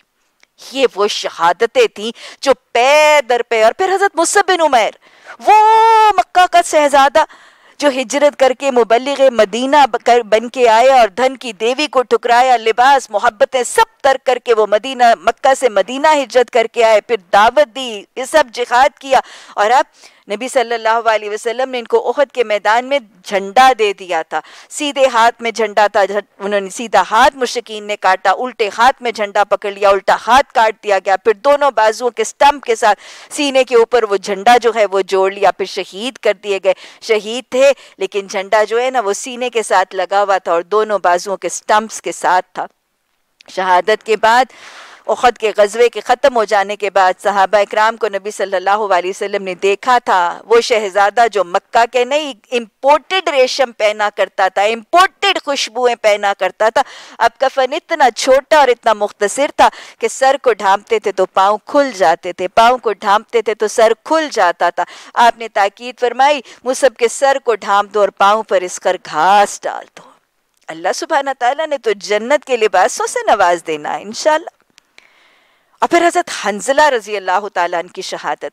हज़रत हंजला ये बेटे थे अबू आमिर फासिक राखिब के। अबू आमिर जो है, ये एक यहूदी आलिम था। ये नबी सल्लल्लाहु अलैहि वसल्लम का दीनी ओपोनेंट और दीनी मुखालिफ था। और ये मुखालिफों का सरदार है और वो जो मस्जिद ज़रार बनाई गई थी फितने की नीयत से गजबा तबूक से पहले उसकी रुदाद इंशाल्लाह हम पढ़ेंगे सूरत तो अबू आमिर ने बनाई थी। उधर बाप मुनाफिकों, फासिकों का सरदार है और उधर बेटे हज़रत हंजला की रुदाद देख लीजिएगा। कि हज़रत हंजिला मदीना की गली में और रोते हुए जा रहे हैं कि हंजला तो मुनाफिक हो गया हंजला तो मुनाफिक हो गया। हज़रत उमर आते हैं और पूछते हैं कि हंजला क्या बात है? हंजला फरमाते हैं रज़ी अल्लाह तन के, उमर, मेरा हाल ये कि मैं जब नबी सल्लल्लाहु अलैहि वसल्लम की महफिल में होता हूँ तो मेरा ईमान और होता है और जब मैं घर में होता हूँ तो मेरा ईमान और होता है, मैं तो मुनाफिक हो गया। हज़रत उमर फरमाते हैं तो मेरा भी यही हाल है। उनका हाथ पकड़ते और दोनों रोते हुए नबी सल्लल्लाहु अलैहि वसल्लम की खिदमत में हाजिर होते आप फरमाते हैं, क्या बात है? ये अपनी रुदात बताते हैं। नबी सल्लल्लाहु अलैहि वसल्लम बड़े मोहब्बत और प्यार के साथ, शफकत के साथ बताते हैं, हंजला, ईमान हर वक्त एक जैसा नहीं रहता, ईमान तो घटता बढ़ता रहता है। अगर तुम्हारा ईमान जैसा मेरी महफिल में अगर अपने घर के बिस्तर पर भी वैसा हो तो फिर तो आसमान से फरिश्ते उतर के तुम्हारे साथ मुसाफा करें। ये हज़रत हंजला रज़ी अल्लाह तला ने इनकी बीवी, इनका वाक़ जो है वो सुनाती है, कहती हैं कि जब ओहद के लिए मुसलमानों का लश्कर रवाना हुआ तो उस दिन इनकी, उसी दिन इनकी शादी और रुखसती हुई थी और कहती हैं कि शब अरूसी थी हंजला मेरे साथ थे और जब हंजला के कान में आवाज़ निकली, आवाज़ और वो निदा पहुँची कि लश्कर मुसलमानों का रवाना हो रहा है तो बस उस वक़्त इतनी तेज़ी और इतनी जल्दी में अपना हथियार और अपना सामान जो है वो जंगी लेकर निकले कि भूल ही गया कि उन्होंने गसल भी करना है और जब मैदान जंग में गए तो वहाँ शहीद हो गए। इससे पहले इससे पहले इनकी बीवी ने वो भी बताया कि जब हंजला मेरे पास से रुखसत हुए तो मुझे नींद सी आई और मुझे नींद में मैंने ख्वाब देखा कि मेरे कमरे की एक खिड़की खुली है और मेरी गोद में एक परिंदा है जो मेरी गोद में से निकल के उस खिड़की से आसमान की तरफ़ चला गया है। कहती हैं कि मैंने ख्वाब देखते ही पहचान लिया कि हंजला शहीद हो गए वो पाक रूह जो है वो आसमान की तरफ़ रुखसत हो गई। बताती है कि इसके बदले अल्लाह सुबहाना ताला ने उनको एक बहुत नेक और सवाले बेटा वो मुजाहिद दीन और मुहाफ़ दीन बना। हज़रत हंजला तो शहीद हो गए। नबी सल्लल्लाहु अलैहि वसल्लम ने फरमाया कि मुझे खबर दी गई है कि फ़रिश्तों ने हंजला को तस्नीम, ये जन्नत का एक चश्मा है, तस्नीम से गसल दिया। और सहाबा कराम ने तस्दीक फरमाई कि जब हम हंजला की मैयत के पास गए तो उनके बालों से पानी के कतरे टपक रहे थे। क्या लकब मिला था? अबू आमिर राके फासिक के बेटे को लकब मिला था। गसीले मलाइका। गसीले मलाइका बन गया एक फासिकों के सरदार का बेटा। आज के बाद किसी के पास इख्तियार नहीं है कि कोई ये कह सके कि मैं तो दीन पर कामिल इसलिए नहीं हो सका, मैं तो दीन पर अमल इसलिए नहीं कर सका कि मेरे वालदेन के अंदर दीन का रंग नहीं था। आज आज people have a tendency to get away with it so easily मुझे कुरान इसलिए नहीं सही तरीके से पढ़ना आता कि अम्मा अब्बा ने नहीं पढ़ाया। मुझे नमाज़ की आदत इसलिए नहीं है कि अम्मा अब्बा ने नहीं डाली, हमारे घर में माहौल ही नहीं था, हमारे घर में इन्वायरमेंट ही नहीं थी। Nobody can get away by saying that body can get away by that अगर एक फासिक राहिब का बेटा गसीले मलाइका बन सकता है तो फिर किसी वालदेन की औलाद कुछ भी बन सकती है। हमारे लिए हमारे अमाल की सवाल है। अल्लाह कसबत व अलैहा मक्तसबन ये शहादतें होती चली गई। अल्लाह सुबहाना ताला के हुक्म से जब इतनी कुर्बानी और इतनी ज़्यादा जुरत और शुजात और इस्तकामत और सब्र का मामला हुआ तो फिर अल्लाह की मदद शामिल हाल हुई। अल्लाह सुबहाना ताली ने मुसलमानों को फतह दी। इब्तदाई तौर पर मुसलमानों को अल्लाह के हुक्म से फतह नसीब हुई। और सहाबा इकराम ने बताया, उन्होंने ज़िक्र किया कि इब्तदाई तौर पर हमने देखा कि मुश्किन मैदान जंग से भाग रहे थे। और यहाँ तक सहाबा इकराम ने फरमाया कि हमने देखा कि मुश्किकों की औरतें अपने लिबास और अपने अपने गाउन्स जो हैं वो उठाए हुए उल्टे पाँव अपनी पिंडलियाँ खोल के भाग रही थी। आगे चलने से पहले ये बात मैं ज़रूर आज के हवाले से करूँगी कि मुश्किन मक्का की औरतें भी सिर्फ़ मैदान जंग में मौत के डर से जब भागती थी ना तो अपनी पिंडलियाँ खोलती थी। आज हमारे माशरे का हाल ये है कि शरीफ जादियाँ पढ़े लिखे घरानों और दीनदार घरानों की खातन खौफ और मौत के डर से नहीं, अपनी खुशियों में, अपनी गमियों में, अपनी शादियों में, अपनी ब्याहों में, अपनी सालगिरहों में, दादी की भी पिंडली खुली है, नानी की भी खुली है, माँ की भी खुली है, बहू की भी खुली है, बेटी की भी खुली है, बेटों के सामने खुली है, अपने मामुओं, भाइयों, भतीजों के सामने टांगे आधी आधी नंगी है। ये तो मुश्किन मक्का की औरतें भी नॉर्मल हालात में नहीं करती थी तो उस हाल में करती थी जब मैदान जंग से मौत के डर से भाग रही। अल्लाह हमें हया का लिबास ओढ़ने और हमें लिबास तकवा अपनाने की तोफ़ी अता फरमा दे अब ये जब मुसलमानों को फतह हुई तो ज़ाहिर माल गनीमत था। मुसलमान बूटी या माल गनीमत जब समेटने लगे तो बस एक फितना डाल दिया शैतान ने। वो जो दर्रे के ऊपर तीस, चालीस तीर अंदाजों को आपने स्पेसिफिक बड़ी सख्त इंस्ट्रक्शंस देकर अल्लाह को गवाह किया था, इनके दिलों में माल की मोहब्बत। इन्ना हब्बिल खैर शदीद, माल की मोहब्बत आ गई। और बस वो माल की मोहब्बत आई तो हिरस हवस, तमा, लालच, बस सारे ही जज्बों का एक तूफ़ान आया। और इनको दिल में ये ख्याल आया कि शायद ये लोग माल गनीमत समेट लेंगे और ये लोग माल गनीमत ले लेंगे और हम महरूम रह जाएँगे और शायद हमारे साथ नाइंसाफ़ी और हक तलफी और ज़्यादती हो जाएगी। इस किस्म के फितने इनके दिल में आए और ये अपने दर्रे को छोड़ कर माल गनीमत समेटने के लिए लपके। हज़रत अब्दुल्ला बिन जुबैर नबी सल्लल्लाहु अलैहि वसल्लम के अहकाम की बुनियाद पर इनको बुलाते रहे, इनको मना करते रहे कि दर्रे को मत छोड़ो, लेकिन ना इन्होंने अल्लाह की मानी, ना अल्लाह के रसूल सल्लल्लाहु अलैहि वसल्लम की मानी, ना अपने सरबराह की मानी, और ये माल गनीमत को समेटने के चक्कर में आ बस, वहीं जब एक कमी आई, वहीं जब इन सरफरोशों में माल की मोहब्बत आई और माल का हिरस और तमा आया तो फिर जब अल्लाह और अल्लाह के रसूल सल्लल्लाहु अलैहि वसल्लम की नाफरमानी के मुर्तकब हुए तो पांसा पलट गया, जीती हुई जंग हार गए। हुआ क्या? अल्लाह ने तो वसाइल और इसबाब बनाने होते हैं। उस वक्त तक हज़रत खालिद बिन वलीद ने इस्लाम कबूल नहीं किया हुआ था। जंगी टैक्टिक्स तो उनके पास बहुत थी। उन्होंने जब जाते जाते पलट कर देखा कि दर्रे के मुसलमान अब माल समेट रहे हैं और दर्रा गैर महफूज है, वहीं पे रुके अबू सुफियान को भी रोका और अबू सुफियान को जंगी लाए अमल ये बताया कि मैं मैं हमला करता हूँ दर्रे के पीछे से और तुम इधर से हमला करो। All the way around the पहाड़ी सिलसिला पुश्त पे से दर्रे पर हज़रत खालिद बिन वलीद ने हमला किया और फिर रिट्रीट करके अबू सुफियान ने हमला किया। एक तो मुसलमानों का लश्कर अभी तो अपनी फतेह के उस हाल में था और अपना माल गनीमत समेट रहा था। अनअवेयर अटैक हुए। अनअवेयर अटैक हुए और फिर सैंडविच हो गए दोनों के, दोनों लश्करों के दरमियान। और इस वक्त फिर तीसरी बात ये हुई कि हज़रत मुसब बिन उमैर रज़ी अल्लाह ताला जिनकी शबी रसूलुल्लाह सल्लल्लाहु अलैहि से मिलती थी, चूँकि वो वो शहीद हुए थे तो ये खबर फैल गई थी कि मोहम्मद सल्लल्लाहु अलैहि वसल्लम शहीद हो गए। और वैसे भी फिर रसूलुल्लाह सल्लल्लाहु अलैहि वसल्लम का दंदान मुबारक शहीद हुआ था और बहुत सा खून बह गया था और अब गश खा के बेहोश होकर गिर गए थे। तो ये दो चीज़ें ऑगमेंट की और जब ये खबर हुई कि रसूलुल्लाह सल्लल्लाहु अलैहि वाक़ता शहीद हो गए तो फिर और ही नाउमीदी और मायूसी और इनके कदम उखड़ गए और बड़े बड़े सहाबा कराम जो हैं वो उस वक्त मैदान जंग से वो निकलने लगे। आप उस वक्त पुकार रहे थे, इलैया इबादुल्ला इलैया इबादुल्ला लेकिन अल्लाह के रसूल सल्लल्लाहु अलैहि वसल्लम की तरफ़ ये लोग भागते चले जा रहे थे और छोड़ उस वक्त फिर कुछ सहाबा इकराम आए। हज़रत साद बिन नबी वकास रज़ी अल्लाह तन की रुदाद आती है कि वो वो अपनी तलवार लेकर आए और आपने फरमाया, या साद फिदा का अबी साद, तुझ पर तो मेरे माँ बाप कुर्बान हो। हज़रत साद सारी ज़िंदगी इस बात का शुक्र करते थे कि ये कलबात तो रसूलुल्लाह सल्लल्लाहु अलैहि वसल्लम ने कभी किसी और के लिए फरमाए नहीं। बहुत ज़्यादा शरफरोशों की तरह हज़रत साद बिन नबी वकास ने हिफाजत की और फिर सब छट गए। मर्द कम हो गए कहतुर रिजाल हो गया तो कौन आ गई?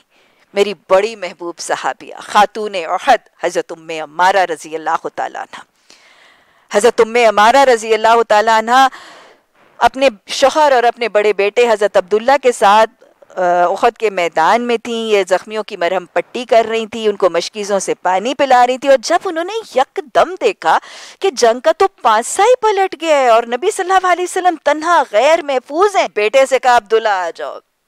याद रखिएगा, बेटे भी वही जाएँगे जो माए दीन की हिफाजत करेंगी। माए दीन की हिफाजत के लिए निकलेंगी तो इनशाला बेटे भी निकलेंगे और बड़ी बात होगी कि अगर माँ निकली तो बेटा निकल आया, वो भी माँ खुशकिस्मत होगी।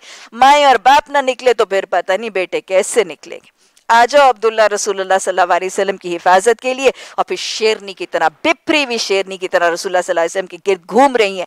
दुश्मन आता है, इनके बेटे हज़रत अब्दुल्ला के कंधे के ऊपर वार करता है, जख्म होता है, जल्दी से जाती है मरम पट्टी करती है मेरे और आप जैसी माँ होती तो बेटे को कहती, जा बस तूने बड़ा लड़ लिया, जा मेरा बेटा, आराम कर अब, बड़ी चोट लग गई है, खून बह गया। नहीं ना पैमाने और थे, तरजीहात और थी, फ़िक्र और थी। मोहम्मद सल्लल्लाहु अलैहि वसल्लम तना और गैर महफूज हो और मैं अपने बेटे की हिफाजत को अपनी तरजीह बना लूँ। मरम पट्टी की और कहा आ जा बेटा, फिर से आ जा दोनों माँ बेटा आ गए, वो दुश्मन आए। आप सल्लल्लाहु अलैहि वसल्लम ने फरमाया, उम्मे हमारा जरा ध्यान से ये मूजी ये मूजी दुश्मन फिर आ गया।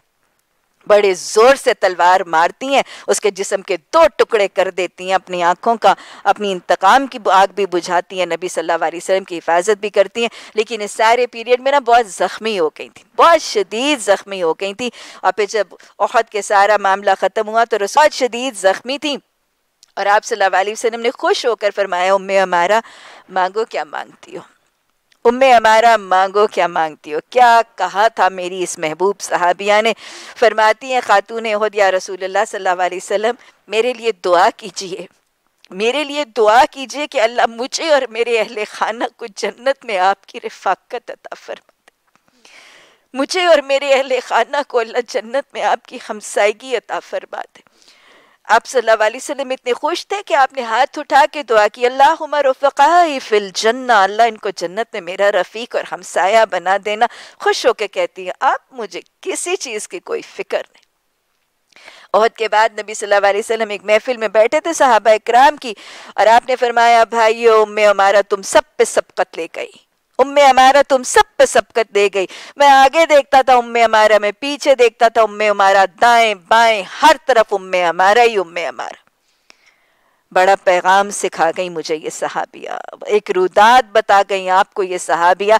आज के दौर का तरीका हल करने का बता गई। आज हमारे माशरे के अंदर मर्द कहतुर्रिजाल है। हमारे मर्दों को अपने कारोबारों, अपनी बिज़नेस, अपनी ट्रेड, अपने सेमिनार्स, अपने जॉब्स फुर्सत नहीं है। उनके पास फुर्सत नहीं है। ना उनके पास तबलीग की, ना अशात की, ना नबी सल्लल्लाहु अलैहि वसल्लम के उजड़ते हुए गुलिस्तान की हिफाजत की फ़िक्र है। आज कहतो, रिजाल के दौर में मुझे और आपको उम्मे उमारा का किरदार अदा करना है। मुझे और आपको उम्मे उमारा का किरदार अदा करना है। निकलना है खुद भी निकलना है। इस दीन की हिफाजत के लिए, इसकी तबलीग के लिए, इसकी अरशात के लिए, इस अल्लाह की सरजमीन के ऊपर, अल्लाह की हाकमियत को कायम करने के लिए अल्लाह हमें इसकी तोफीक अता फरमा दे।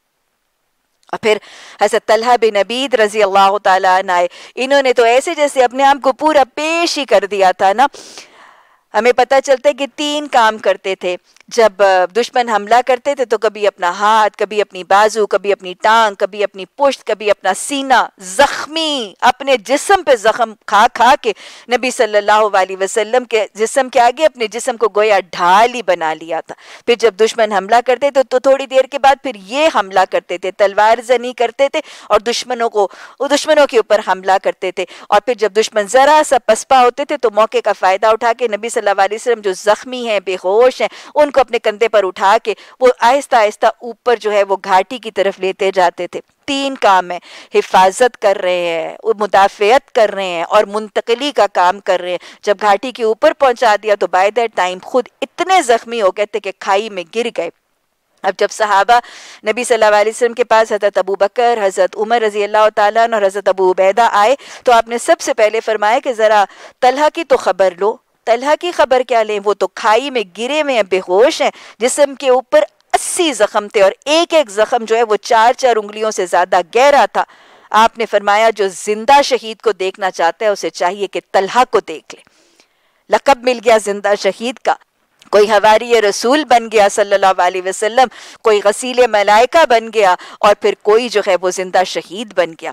आप सल्लल्लाहु अलैहि वसल्लम की रुखसार मुबारक में ना लोहे की दो कड़ियाँ पेवस्त थी और खून बहुत ज़्यादा जारी था। हज़रत उमर ने कहा कि मैं इनको निकालता हूँ, लेकिन हज़रत अबू उबैदा बिन जर्रा रज़ी अल्लाह ताला ने फरमाया कि नहीं, ये काम मैं करूँगा। अपने दांतों का हल्का बनाया और उन उन आ, उनको ना उखाड़ के निकाला खोला अपने दांतों के हल्के से। लेकिन इस सारे प्रोसेस में हज़रत अबू उबैदा के एक अपना दांत जो है वो शहीद हो गया खून के फवारे छुट गए। हम तो रुदादे सुनते और आगे चले जाते हैं जरा सोचे ना कितनी दर्द होगी कितनी तकलीफ़ होगी और कैसी मुश्किल हालत होगी। दांत उखड़ गया खून जारी है लेकिन अभी एक और कड़ी जो है वो रहती है। फिर से दांतों का हल्का बनाया फिर उस कड़ी को खोला और एक और दांत शहीद हो गया। आप सल्लल्लाहु अलैहि वसल्लम ने फरमाया, हर उम्मत का एक अमीन होता है और मेरी उम्मत का अमीन अबू उबैदा बिन जर्रा है। फिर नबी सल्लल्लाहु अलैहि वसल्लम हिफाजत का मामला हुआ। अब इतनी सरफरोशी और कुर्बानियाँ तो फिर अल्लाह सुबहाना ताला ने मुश्किन मक्का के दिलों के अंदर वो रोब डाल दिया और वो जीती हुई जंग छोड़ के अबू सुफियान मैदान जंग से पसपा हो गया। सत्तर मुसलमान शहीद और बहुत कसीर तादाद में बड़े गहरे जख्मों से जख्मी हुए। कितने बच्चे यतीम और कितनी खातन जो हैं वो बेवा हुई। ये लुटा पुटा काफिला जब मदीना वापस पहुँचा तो मैं आपको बताऊँ कि ये लश्कर इतनी इस्तकामत और इतनी जुरत और इतनी साबित कदमी से जंग पर इतना मैदान जंग में बरसरे पैकार रहा क्यों था कि पीछे दीन की मददगार मुआविन खातन बैठी थी। वो पुश्तबान जो उनकी, उनके लिए, उनकी दीन की मुहाफिज थी, वो बैठी थी। जब ये लश्कर मदीना में वापस है तो फिर खवतिन इस्लाम ने जो बेहतरीन तारीख के नमूने रकम किए। अल्लाह के रसूल सल्लल्लाहु अलैहि वसल्लम की सवारी की लगाम जो है ना, वो हज़रत साद बिन माज ने पकड़ी हुई थी। और हज़रत साद के छोटे भाई जो है ना, वो बड़ी सिफारिशें करवा के मैदान जंग में गए थे। और मैदान जंग में उखद में वो शहीद भी हो गए थे। अब हज़रत साद ने देखा कि उनकी वालिदा जो है ना, वो रिसेप्शन के लिए खड़ी हुई है। तो अब जैसे परेशान से हुए, और अब रसूल अलैहि वसल्लम से फरमाया, या रसूलुल्लाह सल्लल्लाहु अलैहि वसल्लम, उम्मे साद खड़ी हैं। कि मतलब मेरी तो माँ भागे खड़ी है। मैं तो जवान भाई को शहीद करके मैदान जंग में छोड़ आया हूँ। मैं माँ को कैसे फेस करूँगा? या रसूलुल्लाह सल्लल्लाहु अलैहि उम्मे साथ खड़ी हैं। आप सल्लल्लाहु अभी खामोश ही थे। उम्मे साद रज़ी अल्लाह तआला आगे तशरीफ़ लाई और आके फरमाती हैं कि, या रसूलुल्लाह सल्लल्लाहु खबर तो बहुत बड़ी है। यानी बेटे की शहादत की खबर मुझे मिल गई है, लेकिन आपको देखकर मेरी आँखें ठंडी हो गई हैं। ये मोहब्बतों के पैमाने थे। अपने जिगर गोशे की शहादत की खबर मिलने उसकी जुदाई की खबर मिलने के बावजूद मोहम्मद सल्लल्लाहु अलैहि वसल्लम सलामत है तो मेरी आँखें ठंडी हो गई। एक और सहाबिया का वाक्य कि उनको पता चला कि उनका जवान साल बेटा और उनका प्यारा भाई शहीद हो गए। अपने आप को रख के देखे ना, अपने रिश्तों को रख के देखे ना कि मेरे जिगर का टुकड़ा और मेरा वो प्यारा अज़ीज़ भाई, मेरा पुश्तीबान मेरे लिए क्या है मेरी ज़िंदगी में? जवान बेटा और भाई की शहादत की खबर मिलती है तो फ़ौरन ही पूछती हैं कि मोहम्मद सल्लल्लाहु अलैहि वसल्लम कैसे हैं? कि अगर मुझ एक के घराने के दो अफराज शहीद हो गए हैं तो पता नहीं कितनी शहादतें हुई हैं। बताओ मुझे रसूल सल्लल्लाहु अलैहि वसल्लम कैसे हैं? फिक्रों के और मोहब्बतों के पैमाने इनके यहाँ फ़र्क थे। आप सल्लल्लाहु अलैहि वसल्लम खैरियत और आफियत से आए तो साथ ही आप सल्लल्लाहु अलैहि वसल्लम को देख के फरमाती हैं कि या रसूलुल्लाह सल्लल्लाहु अलैहि वसल्लम गम का पहाड़ है, लेकिन आप सल्लल्लाहु अलैहि वसल्लम को बखरियत देकर अब मुझे किसी चीज़ की कोई फ़िक्र नहीं। बस आप सलामत है ना, आपकी सलामती की फ़िक्र है। और फिर आप सल्लल्लाहु अलैहि वसल्लम अपनी फूफी साथ बेटी हज़रत हमना रज़ी अल्लाह तह के पास तशरीफ़ ले गए और उनको ख़बरों पे ख़बरें दी। आपने फरमाया कि मेरी बहन, अल्लाह तुबे, तुझे सब्र और तेरे सब्र का अजर दे। फरमाती हैं रसोल्ला वसल्लम, किस चीज़ के बदले? आपने फरमाया, तेरे मामू हज़रत हमज़ा रज़ी अल्लाह तन की शहादत के बदले। फरमाती है, इन्ना राजिऊन। अल्लाह से उनकी बख्शिश और उनके अजर की दुआ करती हैं। फिर आप फरमाती हैं कि मेरी बहन, अल्लाह तुझे सब्र और तुझे सब्र का अजर दे। या रसूल अलैहि वसल्लम, किस चीज़ के बदले? आप फर फरमाते हैं, मेरी बहन, तेरे भाई अब्दुल्ला बिन जखश की शहादत के बदले, पहले मामू की शहादत, फिर भाई की शहादत, फिर सबर से इन्ना लिल्ला कहती हैं, उनकी शहादत कई, जो कबूलियत और उनके गुनाहों की बख्शिश की दुआ करती है, उनके लिए बेहतरीन अजर की दुआ करती हैं। और फिर नबी सल्लल्लाहु अलैहि वसल्लम फरमाते हैं, मेरी बहन, अल्लाह तुझे सबर और तेरे सबर का अजर दे। या रसूल अल्लाह सल्लल्लाहु अलैहि वसल्लम, आप किसके बदले? आप फरमाते हैं, तेरे शोहर मुसब बिन उमैर की शहादत के बदले। तेरे शोहर मुसब बिन उमेर की शहादत के बदले चीख मारती हैं, बेहोश हो जाती जब होश आते तो आप सल्लल्लाहु अलैहि वसल्लम सवाल करते हैं कि मेरी बहन मेरी बहन मुसब की शहादत की खबर पर यह चीखना कैसे? फरमाती या रसूलुल्लाह सल्लल्लाहु अलैहि वसल्लम, मुसब मेरे बेहतरीन शोहर थे। ये वो लोग थे जो ज़िंदगी की नेकी का कोई पेशा, शोभा छोड़ते ही नहीं थे। उधर मुहाजिर भी हैं उधर हिजरत भी कर ली, उधर जिहाद भी कर लिया, उधर शहादत का जाम भी नोश कर लिया, उधर दावत और तबलीग भी कर ली, उधर कुर्बानियाँ भी दे दी और उधर अजवाज के साथ भी उसने सलूक। आज दीन दीन की तरफ़ आते हैं तो हमारे मामलात खराब हो जाते हैं, मामलात की तरफ़ जाते हैं तो दीन खराब हो जाता है। ये है ये है हमागीर नेकियों का तस्वुर जो यहाँ पे नज़र आता मुझसे मेरे बेहतरीन शोहर थे और फिर अयालदार अयालदार छोड़ गए। यानी मेरे छोटे छोटे यतीम बच्चे भी हैं।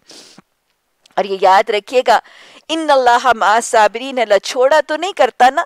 और अल्लाह जो मुजाहिद हैं और अल्लाह जो शहीद हैं, उनके तो घर वालों का मुहाफिज और निगरान बन जाता है ना। हज़रत हमना बिन जहश का निकाह, फिर हज़रत तलहा बिन अबीद, वो जो ज़िंदा शहीद थे ना, उनके साथ हुआ। हज़रत मोहम्मद सल्लल्लाहु ने हज़रत अल्लाह को दो लकब दिए थे, एक तो ज़िंदा शहीद का और दूसरा आप फरमाया करते थे, अल खैर, के तल्हा तो सरापा खैर है। और हज़रत हमना बिन जहश अपने इस बेहतरीन शोहर की कैसे तारीफ़ फरमाती हैं? फरमाया करती थी कि तल्हा मेरे उम्दा तरीन शोहर हैं। और शोहर की कैरेक्टरिस्टिक्स गिनवाती नज़र आती है, फरमाती थी कि जब वो घर आते हैं तो मुस्कुराते हुए दाखिल होते हैं। घर वालों की कामकाज में मदद और हाथ बटाते हैं। हमें ज़रूरत और हाजत बयान करें तो माली अपनी इस्तात के मुताबिक माली मदद और आनत करते हैं। हम ना हाजत बयान करें तो भी हमारी मदद और हमारी ज़रूरतों को पूरा करते हैं। और जब घर से रुखसत होते हैं तो हँसते, मुस्कुराते रुखसत होते हैं। ना गाली, ना गलोच ना लड़ाई, ना झगड़ा, ये अलखैर है। ये वो सहाबा इकराम है जो ज़िंदगी के हर शोबे में नेकी और ज़िंदगी के हर शोबे के अंदर फस्ता बिकुल खैरात करने वाले हैं। खुद का पैगाम दोहरा लीजिए कि लश्करों के लश्करों की नफरियाँ, उनके ताकत, उनके असले नहीं, उनके रवैये, उनकी और शिकस्त का की वजह बनते हैं।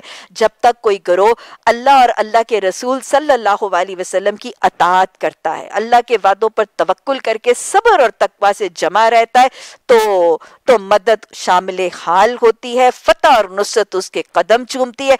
लेकिन जब रवैये बदल जाए अतात इलाही और इत्तबा रसूल सल्लल्लाहु अलैहि वसल्लम में कमी का मामला हो तो फिर अल्लाह की मदद और अल्लाह की रहमत भी उठ जाती है। अल्लाह हमें रुदाते समझने और इसको माशरे में पहुँचाने की तोफ़ी अता फरमाए। अब पढ़िए, उम्मीद है कि इन आयात समझ आती जाएगी।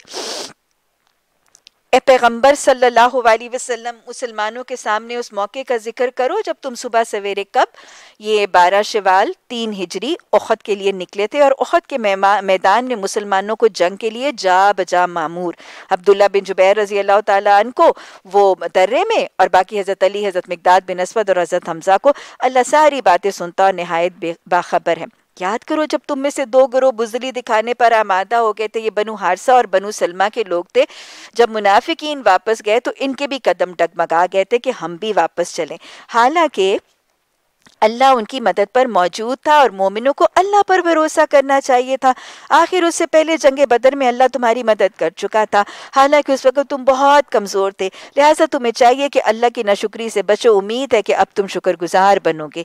याद करो, जब तुम मोमिनों से कह रहे थे, क्या तुम्हारे लिए ये बात काफ़ी नहीं है कि अल्लाह तीन हज़ार फरिश्ते उतार के तुम्हारी मदद करेगा? बेशक। क्या काम करोगे? अगर तुम सबर करोगे और तुम तकवा से काम करोगे तो जिस आन दुश्मन तुम्हारे ऊपर चढ़ाएँगे, उसी आन तुम्हारा रब तीन हज़ार नहीं, पाँच हज़ार साहिब निशान फरिश्तों से तुम्हारी मदद करेगा। और ये बात अल्लाह ने तुम्हें इसलिए बता दी कि तुम खुश हो जाओ और तुम्हारे दिल मुतमिन हो जाए। फतह और नुसरत तो जो कुछ भी है ना, अल्लाह की तरफ़ से है, जो बड़ी कुत वाला दाना और बीना है। और ये मदद तुम्हें इसलिए देगा ताकि कुफर की राह चलने वालों का एक बाजू काट दे और वो जलील और शिकस्त और वो नामुरादी के साथ पसपा हो जाए। ए पैगंबर सल्लल्लाहु अलैहि वसल्लम, फैसले के इख्तियार में तुम्हारा कोई हिस्सा नहीं। अल्लाह को इख्तियार है, चाहे उन्हें माफ़ करें या चाहे उन्हें सज़ा दे। असल में ये क्या हुआ था कि जब मैदान जंग में नबी सल्लल्लाहु अलैहि वसल्लम का दंदान मुबारक शहीद हुआ था और बहुत सा खून बह गया था तो उस वक़्त आपकी ज़बान मुबारक से अल्फाज निकले थे कि वो कौम कैसे फलाह पा सकती है। जो अपने नबी को जख्मी करते। तो लिहाजा उस पर अल्लाह ने ये तबसरा फरमाया, ज़मीन और आसमान में जो कुछ है उसका मालिक अल्लाह है, जिसको चाहे बख्श दे और जिसको चाहे अजाब दे, वो माफ़ करने वाला और रहीम है। सूरह इमरान की आयत नंबर वन थर्टी, चौदहवें रकू की पहली आयत, या आमनु ला वत्तकुल्लाह लअल्लकुम तुफ्लिहून। ए लोगो, जो ईमान लाए हो, ये बढ़ता चढ़ता सूद खाना छोड़ दो। सबसे पहले तो ये बताऊँ कि उहद की रुदाद और उहद के हालात पर तबसरा और इमिट्स द होल डिस्कशन एकदम से सूद का हुक्म क्यों? इसलिए कि मैंने आपको इब्तदा ही में बताया था कि बदर की नाकामी के बाद अबू सुफियान ने मुशकिन मक्का को सबको ये अनाउंस और डिक्लेयर कर दिया था कि हम आइंदा, हम अब पूरा अगला साल क्या नहीं करेंगे? हम अब अगला साल जो जितना सूदी माल होगा उसको हम खुद इस्तेमाल नहीं करेंगे, बल्कि अपने सादी, सारे के सारे सूदी जो मुनाफा है उसको जमा करके मुसलमानों के खिलाफ जंग के लिए इस्तेमाल करेंगे। और ये सूदी कारोबार और नफ़े से जो लश्कर मुशिकीन मक्का ने तैयार किया, उससे उनको बहुत बड़ी फतह हो गई और मुसलमानों को बहुत शिकस्त और नुकसान उठाना पड़ा। इस सिनेरियो में ये इम्कान था कि मदीना के मुसलमानों के दिलों में ये ख्याल आ जाए कि शायद सूद से कुछ फ़ायदे भी मिल जाते। और सूद कुछ नफा भी दे देता है। तो उस इम्कान के आने, उस ख्याल के आने के इम्कान पर भी अल्लाह सुबहाना ताला ने सूद की जो नफ़ी है वो कर दी, ताकि अगर शैतान ने कोई वसवसा भी डालना है सूद के पॉजिटिव असरात के लिए तो उसकी नफ़ी हो जाए। वैसे अगर हम देखें तो सूद के हवाले से पहला हुक्म तो सूरा रोम में नाजिल हुआ कि ए लोगों जो तुम सूद खाते हो कि तुम्हारा माल बढ़ जाए तो वो अल्लाह के यहाँ नहीं बढ़ता। उसके बाद ये दूसरे नंबर पर आने वाली सूर आयात आयात जो हैं ये आ, उसके बाद आती हैं सूरा रोम की आयत नंबर थर्टी नाइन के बाद और इन आयात के बाद अब सूरा रोम की आयत नंबर थर्टी नाइन जो है वो अब मनसूख है। लेकिन सूद का हतमी हुक्म हम सूरा बकरा में पढ़ चुके हैं। सूरा बकरा की उन आयात के बाद बाद अब सूरा आल इमरान की आयात कुरान में हैं। हम रवा नाजरा कुरान में भी पढ़ेंगे, मैं इनकी तफसीर भी बताऊँगी, ये तरावी में भी पढ़ी जाती है। They very much there in the Quran लेकिन इनसे कुरान से सूद की खुरमत का ना होना इन आयात से साबित नहीं है। और वैसे भी आप देख लीजिए कि दूसरे नंबर पर भी जो हुक्म आ रहा है, उसमें भी सूद की कितनी कराहत और डिसलाइक बताई जा रही है। अल्लाह फरमा रहे कि ए लोगों, जो ईमान लाए हो, ये बढ़ता सुड़ता सूद खाना छोड़ दो। वत तकुल्ला गोया अगर अल्लाह से डरते हो और तकवा के पैमाने पर पूरा उतरना चाहते हो तो ये बढ़ता चढ़ता सूद छोड़ दो। लाकुम तुफलिहून, ताकि तुम में फला दी जाए। अगर दुनिया की और आखरत की फला चाहते हो तो ये सूद छोड़ दो। वत्तकुन्नारल्लती काफरीन, उस आग से डर जाओ जो काफिरों के लिए तैयार की गई है। गोया क्या कह रही है ये आयत कि अगर आग जहन्नम की आग काफरों के लिए तैयार की जाने वाली से बचना चाहते हो तो सूद खाना छोड़ दो। अतीउल्लाह व अतीउर रसूल करना चाहते हो तो सूद खाना छोड़ दो। लअल्लकुम तुरहमून। चाहते हो कि तुम पर रहमत इलाकी शामिल खाल हो जाए, अल्लाह तुम पर मेहरबान हो जाए तो क्या करो? सूद खाना छोड़ दो। और दौड़ो, बख्शिश की तरफ़ दौड़ो और जन्नत की तरफ़ दौड़ो, जिस, जो जन्नत ज़मीन और आसमान से ज़्यादा वसी है, जो अल्लाह ने तैयारी मुत्तकियों के लिए की है। ये सब चीज़ें पाने और समेटने के लिए सूद छोड़ना ज़रूरी है। ये दूसरे नंबर पर आने वाली आयत सूद के लिए, उसमें इतना कैटेगोरिकल तस्वुर समझाया गया। इसके आगे अल्लाह सुबहाना ताला फरमा रहे हैं, दौड़ के चलो उस रास्ते पर जो तुम्हारे रब की बख्शिश और उस जन्नत की तरफ़ ले जाती है। कौन सी जन्नत? जिसकी वो ज़मीन और आसमानों जैसी है। ये जन्नत किन के लिए तैयार की गई है? मुत्तकीन। जन्नत के हसूल के लिए जो कैफियत, जो अमल, जो हालत सबसे ज़्यादा कुरान में मेंशन की गई है, वो तकवा है खौफ खुदा वलिमन खौफ मकाम रबी ही जन्नतान। जो रब के सामने खड़े होने से डर जाता है, उसके लिए है जन्नत। सुबहान ताला ने अब यहाँ पर आगे, जन्नत जो ज़मीन और आसमानों से ज़्यादा वसी है, उस जन्नत में दाखिल होने वालों की सिफात बताई है। पहली सिफत तो ये है कि वो मुत्तकी होते हैं। जन्नती कैसे होते हैं, मुत्तकी कैसे होते हैं, आगे उनकी सिफात। वो लोग जो खर्च करते हैं, अल्लाजीना वो खर्च करते हैं। वो तंगी में है तो भी खर्च करते हैं, वो माली कुशादगी में है तब भी खर्च करते हैं। खर्च इसलिए करते हैं जन्नती कि उनको ये हकीकत समझ है। कि दुनिया का घर जो है वो माल, वक्त, सलाहियतें खर्च किए बगैर नहीं लगता। तो जन्नत जन्नत वो जगह जहाँ कोड़ा रखने की जगह दुनिया माफिया से बेहतर है, जो न किसी आँख ने देखी, ना कान ने सुनी, ना दिल ने महसूस की, वहाँ पर घर। बगैर वक्त और सलाहियतों और माल के हो जाएगा तो लिहाजा वो खर्च करते हैं। जन्नत के खसूल के शहदाई, जन्नत के ताजे जो है, वो खर्च करते हैं। किस हाल में खर्च करते हैं? वो खुशी में है, तब भी खर्च करते हैं। बदहाल हैं, खुशहाल हैं, तब भी खर्च करते हैं। बदहाल हैं, तब भी खर्च करते हैं। आप अमूमन लोगों को देखते हैं कि बस औकात लोगों पर तकलीफ़ आती है। बदहाली, मुश्किल, बीमारी, गम, कोई परेशानी आती है तो लोग सदका खैरात की तरफ़ जाते हैं, लेकिन खुशियों की हालत में भूल जाते हैं, ऐश में याद खुदा भूल जाता है। लेकिन इसके बरक्स वो भी कुछ लोग हैं कि माली फराखी होती है तो खर्च करते हैं, लेकिन जो ही माली तंगी आने लगती है तो बस सबसे पहले हमारे मालों में से जक़ात और सदकात का चैप्टर निकलता है। तो अल्लाह ने कहा, जन्नती वो होते हैं जो हर हाल में खुशहाल हैं तो भी खर्च करते हैं, बदहाल हैं तो खर्च करते हैं। और जन्नतियों की अगली सिफ्त, बिलीव यू मी जब तक मैंने सूरह इमरान की आयत नहीं ना पढ़ी थी, मुझे नहीं पता था कि जन्नत के हसूल के लिए यह भी ज़रूरी है, वल वल वो क्या करते हैं?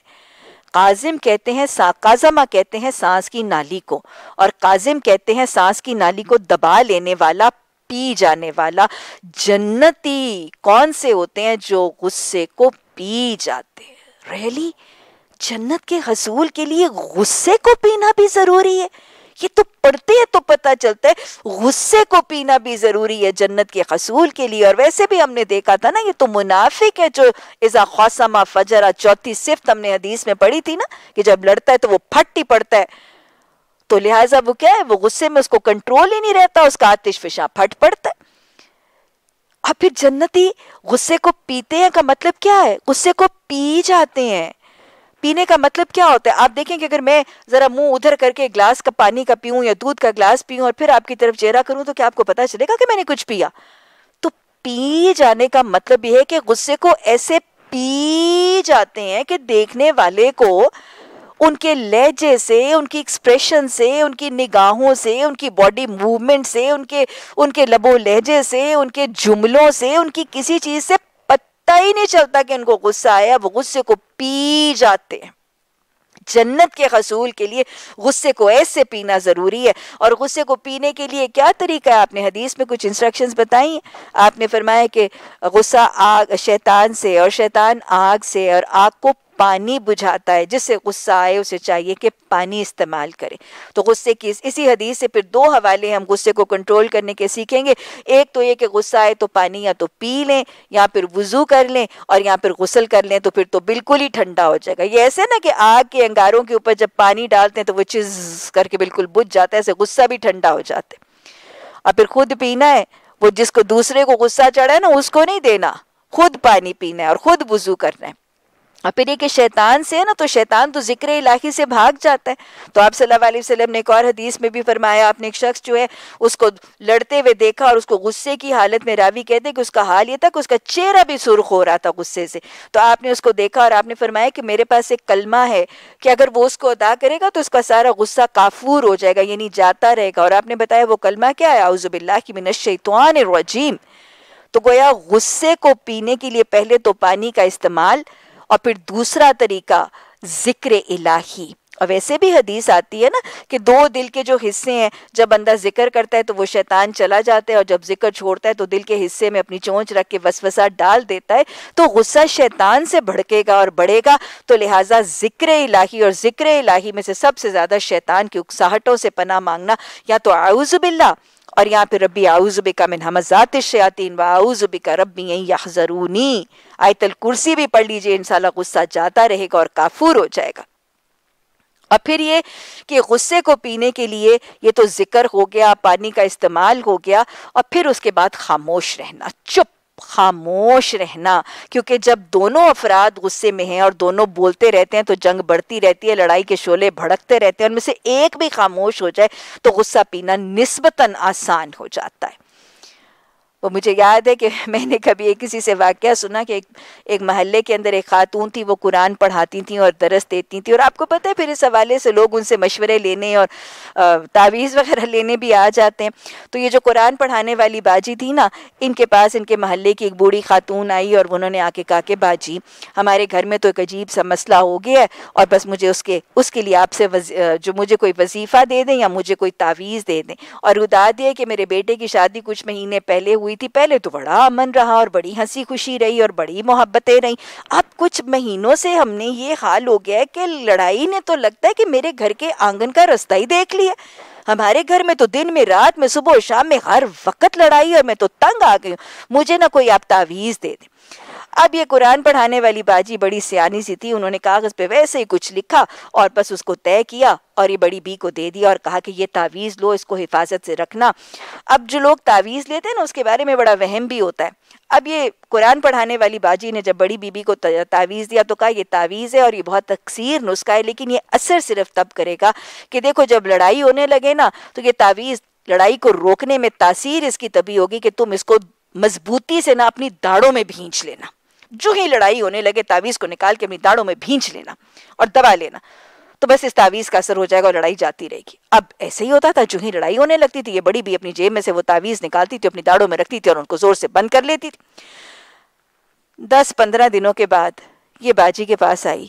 और उसने कहा, बाजी, आपने तो मुझे ऐसा ज़बरदस्त तावीज दिया है कि मेरे घर की, मेरे घर की सारी लड़ाई जाती रही। हम्म ये तावीज नहीं था। ये वो दांतों के शकंजे में जो बड़ी बी की जबान काबू में आ गई थी ना, ये वो था। ये सेल्फ कंट्रोल और ये खामोशी थी। दोनों फरीकैन में से एक भी चुप हो जाना तो झगड़ा खत्म हो जाता है और गुस्सा पीना निस्बतन आसान हो जाता है। और फिर जगह को बदल दें। जगह को बदल लें दोनों आमने सामने बैठ के मुठभीड़ होती रहेगी तो फिर तो लड़ाई खत्म नहीं होगी। आयात तयबा में इंशाल्लाह वाक्य आप आगे सुनेंगी गजबा बनी मुस्तलिक में ना, जब अंसार और महाजरीन के दरमियान पानी के मामले में झगड़ा हुआ था और जल्दी पर तेल फिर अब्दुल्ला बिन उबई ने डाला था तो बहुत गिरबान पकड़ने तक मामला हो गया। अब उस वक्त नबी सल्लल्लाहु अलैहि वसल्लम ने बड़ी हिकमत अमली से जो तरीका कार इख्तियार किया था, आपने कुछ का हुक्म दिया था कि चलो यहाँ से जगह मुंतक रात का वक्त था, लेकिन फिर भी जब वो पूरे का पूरा लश्कर वहाँ से कूच कर गया था तो फिर लड़ाई बहुत हद तक वो जो इमीडिएट शोले थे, वो बुझ गए थे।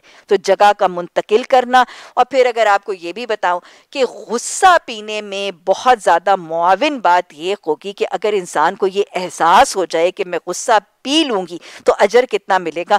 हयात तैयबा में वाक़ हज़रत अबू बकर सिद्दीक रज़ी अल्लाह तन कहता है कि हज़रत अबू बकर सिद्दीक नबी सल्लल्लाहु के सामने तशरीफ़ फरमाते, एक जाहिल, एक बद्दू आया और उसने हज़रत अबू बकर के साथ बद अखलाकी और बदजबानी और गुस्ताखी करनी शुरू कर दी। सबर तो बहुत था तहमुल तो बहुत था, पहले खामोश रहे और चुप रहे और गुस्सा पीते रहे। और फिर थोड़ी देर के बाद इंसान इंसान है ना, जब अगला लिमिट्स क्रॉस कर जाता है तो फिर कुछ ना कुछ तो जबान से निकलता है। अबू बकर सिद्दीक रज़ी अल्लाह ताला ने नोटिस किया कि जब आप चुप थे तो नबी सल्लल्लाहु अलैहि वसल्लम हल्का सा मुस्कुरा रहे थे। अब जब वो बद्दू ने लिमिट्स क्रॉस की तो हज़रत अबू बकर रज़ी अल्लाह ताला ने जवाब दिया तो आप सल्लल्लाहु अलैहि वसल्लम फ़ौरन वहाँ से उठ के चले गए। अब, यानी आपको हल्की सी ये परेशानी, हज़रत अबू बकर को ये परेशानी हुई कि शायद रसूलुल्लाह सल्लल्लाहु अलैहि वसल्लम नाराज़ हो गया अब इनको तो रसूलुल्लाह सल्लल्लाहु अलैहि वसल्लम को और अल्लाह को राज़ी रखना, इनकी ज़िंदगी की ultimate top of the line priority थी, वो नाराज़गी, शराजगी खफ की झगड़ा तो सारा भूल गया। रसूलुल्लाह सल्लल्लाहु अलैहि वसल्लम के पीछे भागते हुए गया और फरमाया कि यार रसूलुल्लाह सल्लल्लाहु अलैहि वसल्लम, मुझे ये ये बात समझ नहीं आई कि जब तक वो बद्दू बदतमीज़ी और बदअखलाकी कर रहा था और मैं चुप था तो आप मुस्कुरा रहे थे। और जब मैंने जवाब दिया तो आपको ये नापसंद भी हुआ और आप वहाँ से उठ के आ गए। आपने फरमाया, अबू बकर, जब तक तुम खामोश थे और वो बदजबानी कर रहा था और तुम गुस्सा पी रहे थे तो मैं देख रहा था कि एक फरिश्ता तुम्हारे पीछे तुम्हारे लिए बख्शिश और रहमत की दुआएँ कर रहा है। और जब मैंने देखा कि तुमने जवाब दिया तो वो फरिश्ता चला गया और वहाँ शैतान आ गया। तो लिहाजा गुस्सा पीना आसान हो जाएगा अगर हमें ये पता हो कि जितनी देर हम गुस्सा पी रहे हैं, उतनी देर एक अल्लाह के हुक्म से फरिश्ता हमारे लिए बख्शिश और रहमत की दुआएँ कर रहा है। जन्नती गुस्सा तो पी जाते हैं और गुस्सा पीने के बाद क्या करते हैं? उसको अंदर रखते हैं, उसको ब्रीव अप करते हैं, उसको बढ़ाते हैं और फिर वो आतिश फशा और वॉल्केनो की तरह फटता है। नहीं नास लोगों को माफ़ी कर देते हैं, दरगुजरी कर देते हैं और फिर क्या करते हैं? वल्लाबुल मोहसिन उल्टा फिर उन पर एहसान का रवैया इख्तियार करते हैं। गोया जन्नत के हसूल के लिए जो सीक्वेंस ऑफ़ इवेंट्स नज़र आ रहा है, गुस्से को पीना, माफ़ करना और फिर जिस पर गुस्सा आया था, उस पर एहसान करना। वो वाक्य भी आपने हदीस में आता ना कि आपने सवाल किया कि पहलवान कौन है? तो आपने फरमाया कि पहलवान वो है जो इंतकाम की ताकत के बावजूद, उसके पास ताकत है, वो रिवेंज ले सकता है, वो बदला ले सकता है। इंतकाम की ताकत और सलाहियत के बावजूद वो गुस्सा पी लेता है और माफ़ कर लेता है, वो पहलवान। पहलवान वो नहीं है जो कुश्ती में किसी को पिछाड़ दे। पहलवान वो है जो गुस्से की हालत में इंतकाम की ताकत रखने के बावजूद माफ़ करके गुस्सा पीता है। कौन सा ज़ोर लगता है? असाब का ज़ोर लगता है। सेल्फ कंट्रोल का ज़ोर लगता है और वाकई असाब का बहुत ज़ोर लगता है। ये सिफत दे के ना तो कई दफ़ा पढ़ने वालों को लगता है ये तो ह्यूमनली पॉसिबल ही नहीं है। ये तो हो ही नहीं सकता कि पहले गुस्सा पिए, फिर माफ़ करें, फिर उसके साथ एहसान करें। पी के माफ़ तो मैक्सिमम हो सकता है, लेकिन उसी जालिम के साथ ज्यादती करने वाले के साथ एहसान तो लगता है ह्यूमनली पॉसिबल ही नहीं है, लेकिन है। सुरा यूसुफ पढ़ेंगे, रुदादे सुनाऊँगी, हज़रत याकूब ने किया, हज़रत यूसुफ सलाम ने किया, मुँह दर मुँह भाइयों ने, सारे जालिम भाइयों ने, कुएँ में फेंकने वाले भाइयों ने कहा, तू ठीक है, तू अगर ऐसा करे ना तो तेरा भाई भी चोर था। हज़रत यूसुफ अलैहिस्सलाम को मुँह दर मुँह नाउजुबिल्ला चोर कह दिया, लेकिन फिर भी गुस्सा पी गए थे, फिर भी गल्ला दे दिया और कितनी रुदादे नबी सल्लल्लाहु अलैहि वसल्लम अगर हम देखते हैं तो जब आप फाते मक्का बन के दाखिल होते हैं तो गुस्सा पीने और माफ़ करने की कितनी कितनी रुदादे हज़रत जैनब को जिन्होंने कत्ल किया, ऊँटनी से गिरा कर कत्ल करने के मुतहरक बने सामने थे, आपने जब फरमा दिया था अल्लाह तसरीब अलैकुमुल आपने उनको माफ़ कर दिया। उस्मान बिन तलहा, जो कलीद बरदार था, चाबी थी जिसके पास हरम की और नबी वसल्लम के साथ गुस्ताखी करता था, मक्की दौर में जब वो हाजिर हुआ, आपने माफ़ कर दिया और चाबी उसी को थमा दी, एहसान, हक था उसका। आपने फरमाया कि क्यामत तक अब कलीर बरदार जो इनके आल, इनके घर वाले ही रहेंगे। और हिंद हिंद जिगर नोश, वॉक्सिन। और आप फरमाते हैं मरहबाए हिंद। गुस्सा पी लिया था, माफ़ कर दिया था। और आपने फिर एहसान भी कर दिया था। अली बिन हुसैन, इमाम जैनुलाबद्दीन का वाक्य आता है। ये इनका लकब है इमाम जैनुलाबद्दीन वो जिनके मैंने आपको वालदा का भी किस्सा सुनाया था ना, इनका किस्सा आता है कि इनकी लौंडी इनको वज़ू करा रही थी। या तो पानी ज़रा ज़्यादा गर्म था या एकदम से वो छलक के ज़्यादा गिरा और कपड़े भी गीले हो गए तो उनको गुस्सा आया। और हाथ उठाया लौंडी को मारने के लिए, उस ज़माने की लौंडियों को भी कुरान की आयात आती थी, यहाँ पढ़ी लिखियों को नहीं आती। तो लॉडी ने आयत पढ़नी शुरू कर दी। उन्होंने हाथ उठाया तो, तो जब उन्होंने कहा कि उसने कहा कि काजमीन अलगैस तो उन्होंने अपना हाथ नीचे कर लिया गुस्सा पी लिया। फिर उसने कहा आफीन अनन्नास। तो कहते हैं जा मैंने तुझे माफ़ किया। और फिर वो कहती है वो अल्लाह योहिबुल मोहसिन तो कहते हैं जा मैंने तुझे अल्लाह के लिए आज़ाद किया। ये रिस्पॉन्ड करते थे कुरान की आयत को। इसका पैगाम, इसका असूल लेके अपनी ज़िंदगियों के तरीके लाए, अमल इख्तियार करते थे।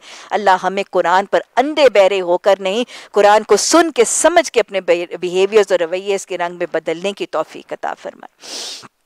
जन्नतियों का अगला हाल ये, जिनका हाल ये कि अगर कभी कोई फहश काम, कोई गलत गुनाह का काम उनसे हो जाता है या किसी गुनाह का इरतकब वो अपने ऊपर करके जुल्म कर बैठते हैं तो मान अल्लाह उन्हें याद आ जाता है। वो उससे अपने कसूरों की माफ़ी मांगते हैं, क्योंकि अल्लाह के सिवा कौन है जो गुनाह माफ़ कर सकता है? और वो दीदा दानिस्ता अपने किए पर इसरार नहीं करते। जन्नतियों की अगली सिफ्त क्या है? ख़ता के पुतले हैं। कुल्लो बनी आदमा ख़तान, सबसे ख़ता होगी खैर ख़ातन तवाबून बेहतरीन खताकार वो हैं जो तोबा करके पलटते खता हो जाती है, लेकिन खता होने के बाद जिद और डिटाई और ऑब्स्टिनेसी और स्टबननेस के साथ कवर अप करके उसको जस्टिफाई नहीं करते, बल्कि अल्लाह के आगे इतराफ़ करके इस्तफार करते अल्लाह जालनी मिन तवाबीन व जालनी मिनल मुतखरीन ऐसे लोगों की जजा उनके रब के पास ये है कि वो उनको माफ़ कर देगा। ऐसे बागों में उन्हें दाखिल करेगा जिनके नीचे नहरें बहती हैं और वो वहाँ हमेशा रहेंगे। कैसा अच्छा बदला है नेक अमल करने वालों के लिए। तुमसे पहले बहुत से दौर गुजर चुके हैं। ज़मीन में चल फिर कर देख लो ना उन लोगों का क्या अंजाम हुआ जिन्होंने अल्लाह के अहकाम हदायत को जुटलाया ये लोगों के लिए एक साफ़ और सरी तंबी है जो अल्लाह से डरते हों, उनके लिए हदायत और नसीहत है। अब आगे अल्लाह सुबहाना ताला ये उखद की जो इतनी बड़ी तकलीफ़ आई थी ना, उसकी वजूहत बताएगा और मुसलमानों को तसलियाँ देंगे। वला ताहिनु, वला तहजनु, व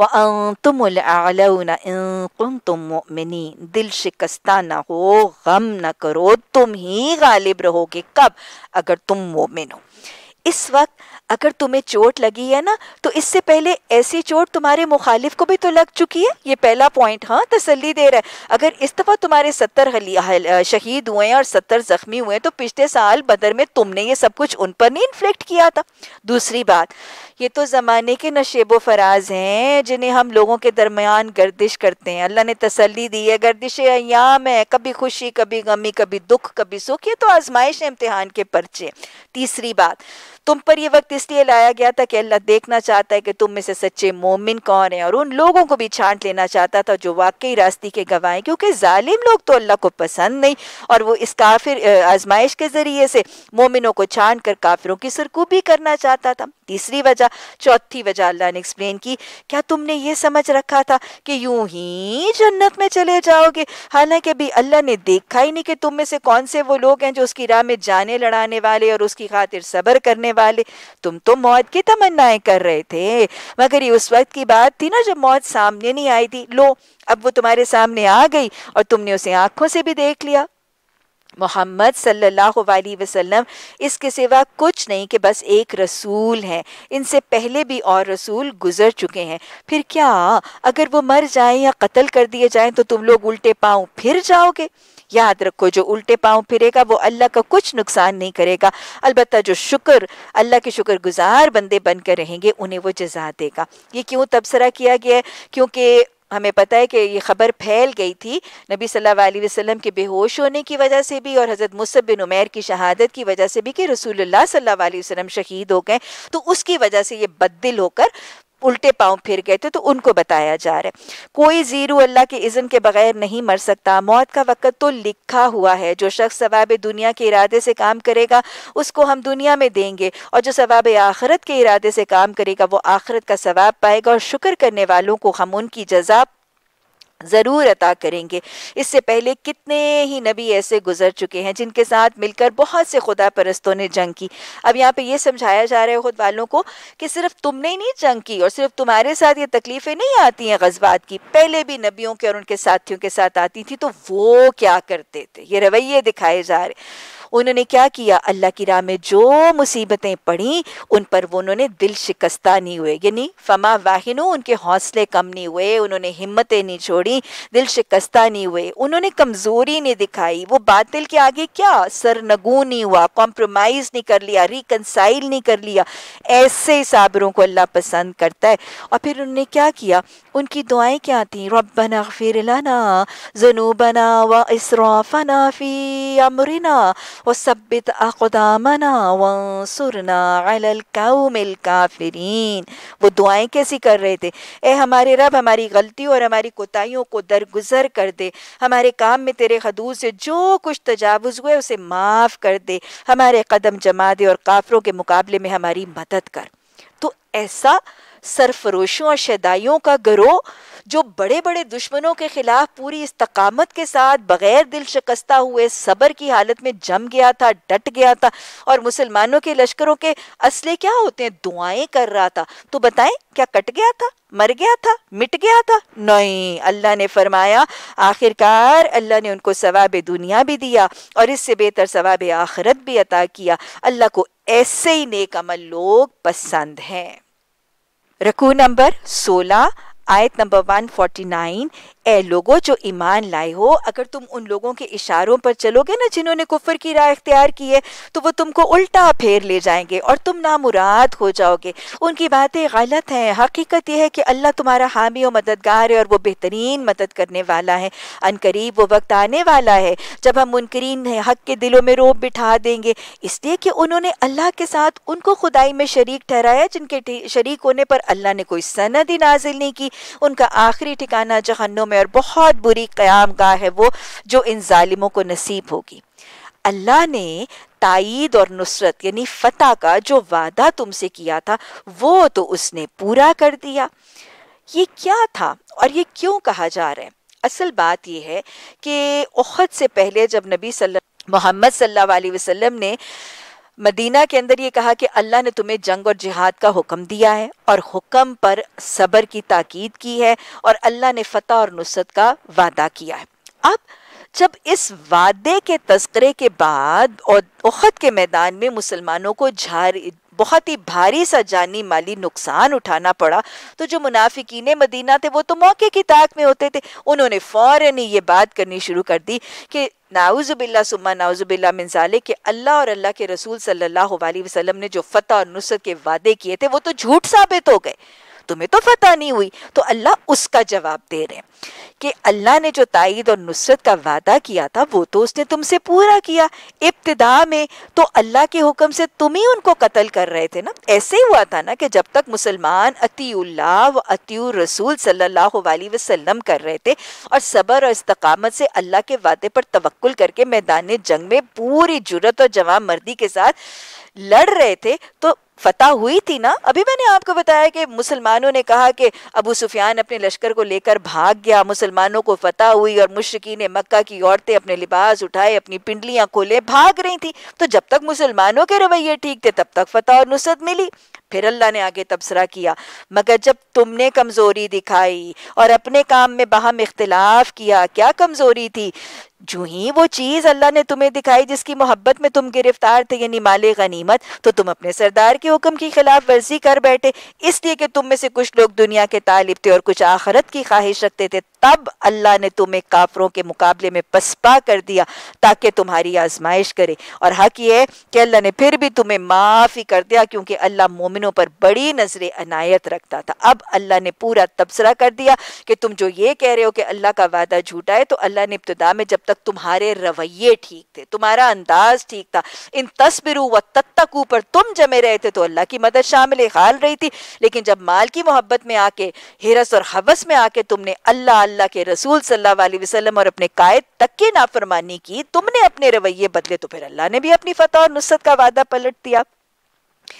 याद करो, जब तुम भागे चले जा रहे थे, अभी सारे तबसरे में वो गुरो जिसको तकलीफ़ आई है ना मुसलमानों को, उनको उनकी गलत रवि बताई जा रही है। याद रखिए, तकलीफें क्यों आती हैं? इन सहाबा इकराम पर भी ये तकलीफ़ आई थी तो किस वजह से आई थी? इनके अपने हाथों की लाई हुई थी, वही उनको समझाया जा रहा याद करो, जब तुम भागे चले जा रहे थे, किसी की तरफ़ पलट के देखने का होश तुम्हें नहीं था, और अलैहि वसल्लम तुम्हें पीछे से पुकार रहे थे, जब दोनों लश्कर दोनों रसूलुल्लाह सल्लल्लाहु पीछे से तुम्हें पिकार रहे थे। आप फरमा रहे थे ना, इलैया इबादुल्लाह इलैया इबादुल्लाह, अल्लाह के बंदो मेरी तरफ़ आ। उस वक्त तुम्हारी इस रविश का बदला, क्या रविश थी? रसूलुल्लाह सल्लल्लाहु अलैहि वसल्लम की पुकार पर लब्बैक नहीं कह रहे थे? रसूलुल्लाह सल्लल्लाहु अलैहि वसल्लम को गैर महफूज छोड़ के चले गए थे और तुम खुद हौसले पस्त करके भाग गए थे। तुम्हारी इस रविश का बदला अल्लाह ने तुम्हें दिया कि तुम्हें रंज पे रंज दिए, क्यों दिए? ताकि आइंदा तुम्हें ये सबक मिले कि जो कुछ तुम्हारे हाथ से जाएगा या जो मुसीबत तुम पर नाजिल होगी, उस पर मलूल ना करना। अल्लाह तुम्हारे सब आमाल से बाखबर। है आज हम पर रंज पे रंज आते हैं, दुख पे दुख आते हैं, मुश्किलात पे मुश्किलात आती हैं, सैलाब आता है, जलजले आते हैं। एक सैलाब के असरात से अभी हम रिहैब नहीं हुए होते तो अगला सैलाब आ जाता है। फिर उसके बाद बम धमाके आते हैं। हमारे हमारे स्कूलों, हमारे कॉलेजों, हमारी मस्जिदों के अंदर खून रेजियाँ होती हैं और फिर सबसे बढ़ के आज की ये वबा, ये आफत रंज पे रंज क्यों आ रहा है? आज दीन की अशात के लिए, तबलीग के लिए निफाज के लिए, हिफाजत के लिए जब पुकारा जाए तो लोग कहाँ जा रहे हैं? अपने दुनिया के काम, काज, धंधे, कारोबार बिजनेसेस की तरफ़ भागे चले जा रहे मुँह उठा के वापस नहीं देखते। नबी सल्लल्लाहु अलैहि वसल्लम का वो दीन जो उनका सबसे ज़्यादा महबूब दीन था, जिसकी खातिर आपने पत्थर खाए, जिसकी खातिर आप लहू लुहान हुए, जिसकी खातिर आपके रस्ते में खारदार झाड़ियाँ बिछाई गई, जिसकी खातिर आपने अपने पेट पे पत्थर बाँध के अपनी सफ़ें और खंदकें खोदी। वो दीन जब आज उजाड़ने की कोशिशें हैं तो मेरी कौम बेखबर है, बेपरवाह है, बेफिक्र है। मुँह उठाए हम अपनी दुनिया की सरगर्मियों में मसरूफ़ अमल है। रंज पे रंज इसी वजह से आते हैं। इस गम के बाद अल्लाह ने तुम में से कुछ लोगों पर ऐसे इतमान की हालत तारी कर दी कि वो ऊँगने लगे। वो जब फिर शहादतें हुई और फिर नबी सल्लल्लाहु अलैहि वसल्लम की हिफाजत के लिए हज़रत उम्म अमारा, हज़रत बिन नबी वकास, तल्हा बिन नबी जैसे जान फरोश सरफरोश आए तो फिर अल्लाह की रहमत आई और फिर फरिश्तों ने जीती हुई जंग जो है वो मुश्किन के दिलों में रोब डाला और फिर अबू सुफियान जीती हुई जंग छोड़ के चला गया। मगर दूसरा गुरु जिसके लिए सारी अहमियत बस अपने मफाद की थी, अल्लाह के बारे में तरह तरह तरह के जाहिलाना गुमान करने लगा, जो सरासर खिलाफ हक थे। ये लोग अब कहते हैं, कौन थे मदीना के मुनाफिक? इस काम के चलाने में हमारा कोई हिस्सा है? तुमने हमारी बात नहीं ना मानी थी कि मदीना में जंग करो। उनसे कहो, किसी का भी कोई हिस्सा नहीं। इस काम के सारे के सारे इख्तियार अल्लाह के हाथ में। दरअसल ये लोग अपने दिलों में जो बात छुपाए हैं, उसे तुम पर ज़ाहिर नहीं करते। उनका असल मतलब ये है कि अगर क़्यादत के इख्तियार में हमारा कुछ हिस्सा होता ना तो यहाँ हम मारे ही ना जाते। उनसे कह दो, अगर तुम अपने घरों में भी होते ना तो जिन लोगों की मौत लिखी थी, वो खुद अपनी कतलगाहों की तरफ़ निकल आते। और ये मामला जो पेश आया था, ये तो इसलिए आया था कि जो कुछ तुम्हारे सीनों में पोशीदा है, अल्लाह उसे आजमा ले और जो खोट तुम्हारे दिलों में उसे छान दे, अल्लाह दिलों का हाल भी खूब जानता है। तुम में से जो लोग मुकाबले के दिन पीठ फेर गए थे बड़े बड़े साहबा कराम के कदम इस वक्त डगमगा गए थे। उनकी इस लग्जिश का सबब यह था कि उनकी बाज कमज़ोरियों की वजह से शैतान ने उनके कदम डगमगा दिए थे। अल्लाह ने उन्हें माफ़ कर दिया। वो बड़ा दरगुजर करने वाला बुरदबार है। ए लोगो, जो ईमान लाए हो, काफिरों की सी बातें न करो कि जिनके अजीज़ो अकारिब कभी सफ़र पर जाते हैं या जंग में शरीक होते हैं और वहाँ हादसे से दो चार होते हैं तो वो कहते हैं, अगर वो हमारे पास होते तो ना मारे जाते और कत्ल ना होते। इस किस्म की बातों को अल्लाह उनके दिल में हसरत और अंदोख का सबब बना देता है। वरना दरअसल मारने और जिलाने वाला तो अल्लाह ही है और तुम्हारी हरकत पर वही निगरान है। असल में जब एक बहुत बड़ी तादाद मुसलमानों की शहीद सत्तर शहीद हो गए। तो ये लोग कहने लगे कि अगर ना गए होते तो ये खलाक ना होते। असल में ये याद रखिएगा कि एक मुसलमान की ज़िंदगी में रिग्रेट्स यास, काश, हसरतें, ये नेगेटिव जज्बात जो हैं वो मोमिन की ज़िंदगी में नहीं होते। वो अल्लाह पर तवक्ल करता है और दूसरी बात यह है, वो तकदीर पर ईमान रखता है। ईमान बिल कदर और तवक्ल करने वाला फिर किसी किस्म के अपने माजी के हवाले से यास, काश या रिग्रेट्स के मनफी जज्बात का शिकार नहीं होता। और वैसे अल्लाह फरमा रहे कि तुम अल्लाह की राह में मारे जाओ या मर जाओ तो अल्लाह की जो रहमत और बख्शिश तुम्हारे हिस्से में आएगी, वो इन सारी चीज़ों से बेहतर है जिन्हें ये लोग जमा कर रहे हैं। और खा तुम मरो या मारे जाओ। बहरहाल, तुम सबको सिमट कर जाना तो अल्लाह ही की तरफ़ है। ए पैगंबर सल्लल्लाहु अलैहि वसल्लम, ये अल्लाह की बड़ी रहमत है कि तुम उन लोगों के लिए बड़े नरम मिजाज वाक्य हो। अभी नगली आयात में रसूल सल्लल्लाहु अलैहि वसल्लम की ज़िंदगी आपके उसवा का, आपकी पर्सनालिटी का एक ख़ास पहलू। नबी सल्लल्लाहु अलैहि वसल्लम बहसीत सरबरा बहसीत कायद बहसीत सरबरा, वो शख्सियत का एक पहलू दिखाया जा रहा है कि आप सरबरा या हेड ऑफ़ डिपार्टमेंट या लीडर की शक्ल में आपकी सिफात कैसी थी? आप बड़े नरम मिजाज वाक़ हुए थे। वरना अगर कहीं तुम तुंदखू और सख्त दिल यानी बदखलाक या सख्त दिल होते तो ये सब तुम्हारे गिरदो पेश से छट जाते। इनके कसूर माफ़ करो, इनके हक में दुआए बख्शिश करो और दीन के काम में इनको शरीक मशवरा रखो। फिर जब मशवरे के बाद क्या हो? तुम्हारा अज़म किसी राय पर मुस्तहकम हो जाए तो अल्लाह पर भरोसा करो। अल्लाह को वो लोग पसंद है जो उसके भरोसे पर काम करते हैं। अल्लाह तुम्हारी मदद पर हो तो कोई ताकत तुम पर गालिब आने वाली नहीं। और वो अगर तुम्हें छोड़ दे तो उसके बाद कौन है जो तुम्हारी मदद कर सकता है? बस जो सच्चे मोमिन है, उनको अल्लाह ही पर भरोसा करना चाहिए। ये आयत सल्लल्लाहु अलैहि वसल्लम की शख्सियत बहसीत रहनुमा और बहसीत सरबराह बता रही है। लेकिन ये आयत जो है बड़ी जामे सा एक पैगाम है और मैन मैनेजमेंट और एडमिनिस्ट्रेशन ट्रेनिंग का एक बहुत खूबसूरत पैगाम देती है। बल्कि ये आयत मुझे हमेशा यूँ लगता है कि जैसे बेहतरीन लीडरशिप ट्रेनिंग कर रही है और एक लीडर को, एक कायद को, एक डिपार्टमेंट के हेड ऑफ़ द डिपार्टमेंट को या सरबराह को कैसा होना चाहिए ये बता रही अच्छा सरबराह नरम मिजाज होगा, सख्त दिल नहीं होगा तुंदखू नहीं होगा, बद अखलाक, बद जबान नहीं होगा, गाली गलोच, लड़ाई झगड़ा करने वाला नहीं होगा। अगर उसके मातहतों और सबॉर्डिनेट से कोई कमी हो जाती है तो माफ़ कर देता है इग्नोर कर देता है, उनके लिए बख्शिश की दुआ करता है और सबको मशावरत के साथ काउंसलिंग के साथ, सबके साथ मशवरा करके फैसला करते हैं। मशावरत पर तस्करा हम पीछे भी कर चुके हैं।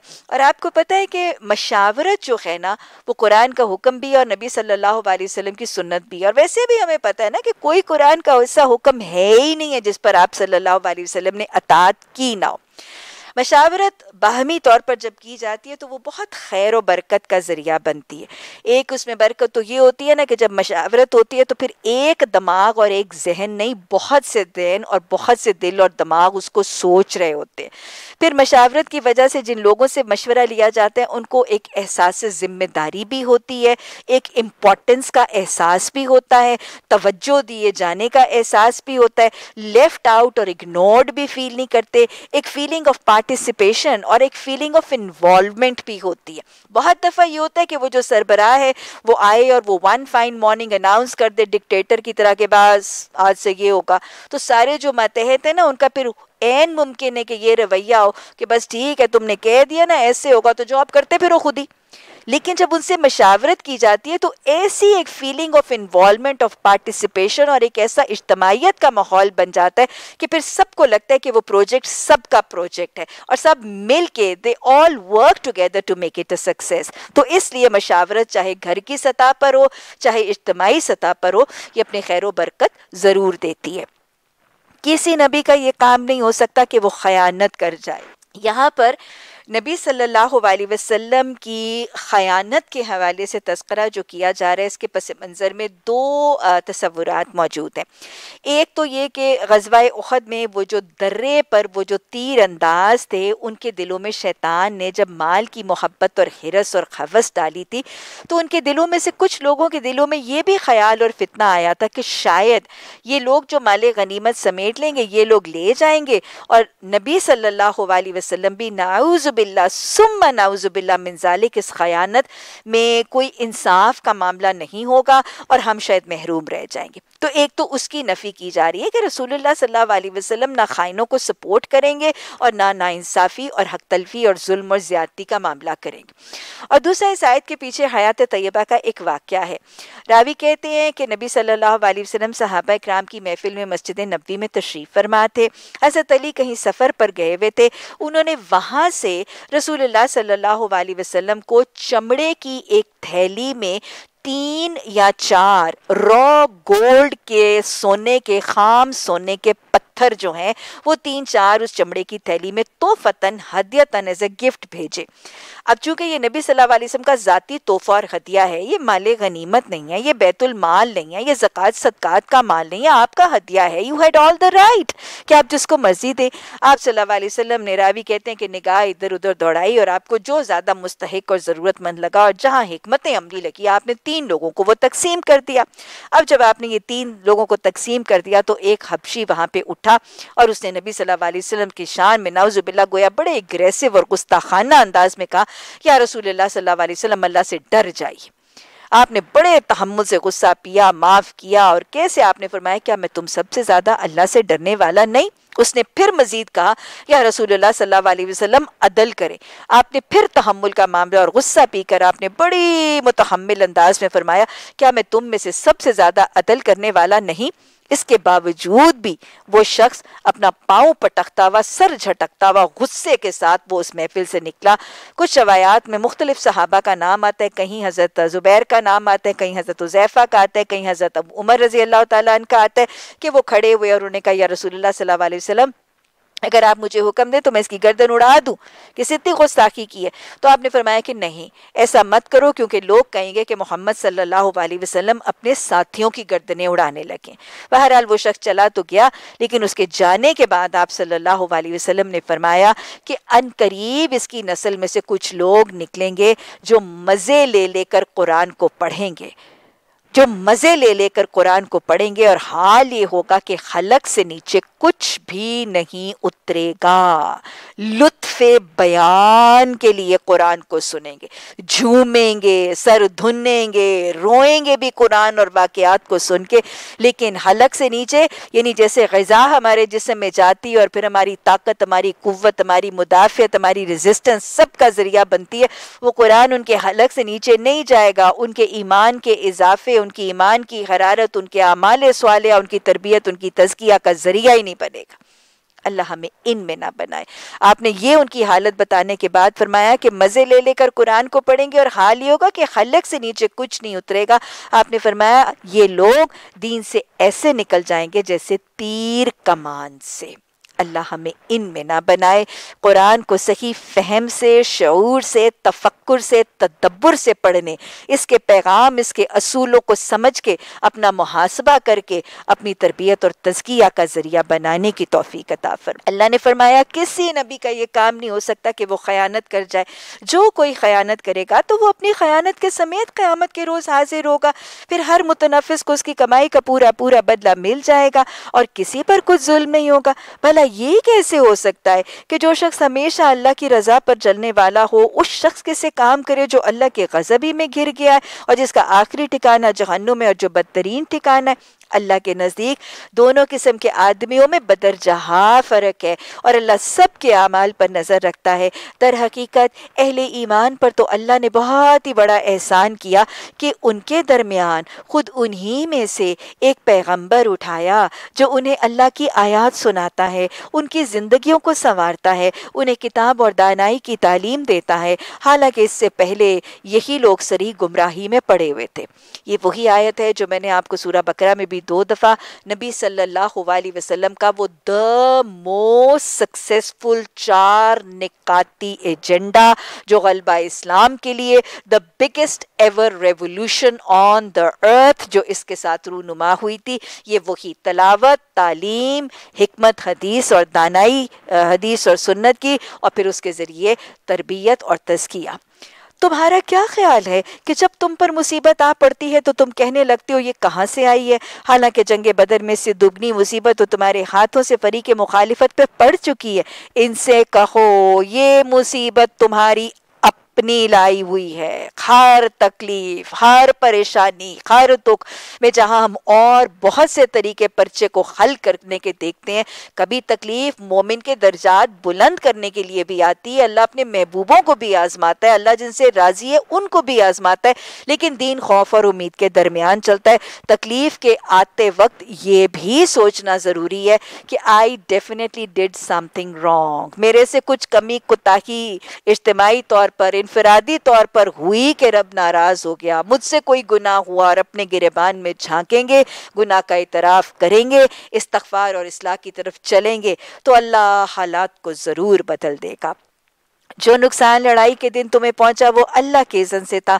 और इसलिए था कि अल्लाह देख ले कि तुम में से कौन मोमिन है और कौन मुनाफिक है। वो मुनाफिक है जब उनसे कहा गया कि आओ अल्लाह की राह में जंग करो या कम अज़ कम अपने शहर का दिफा ही करो। तो कहने लगे, अगर हमें इल्म होता कि आज जंग होनी है तो हम तो ज़रूर तुम्हारे साथ चलते। मुनाफिकों के तो हमेशा कॉल और फेल में तजाद होता है ना। ये बात जब वो कह रहे थे, उस वक्त वो ईमान की बनस्बत कुफर से ज़्यादा करीब थे। वो अपनी ज़बानों से वो बातें कहते हैं जो उनके दिलों में नहीं होती ना, जो कुछ अपने दिलों में छुपाते हैं।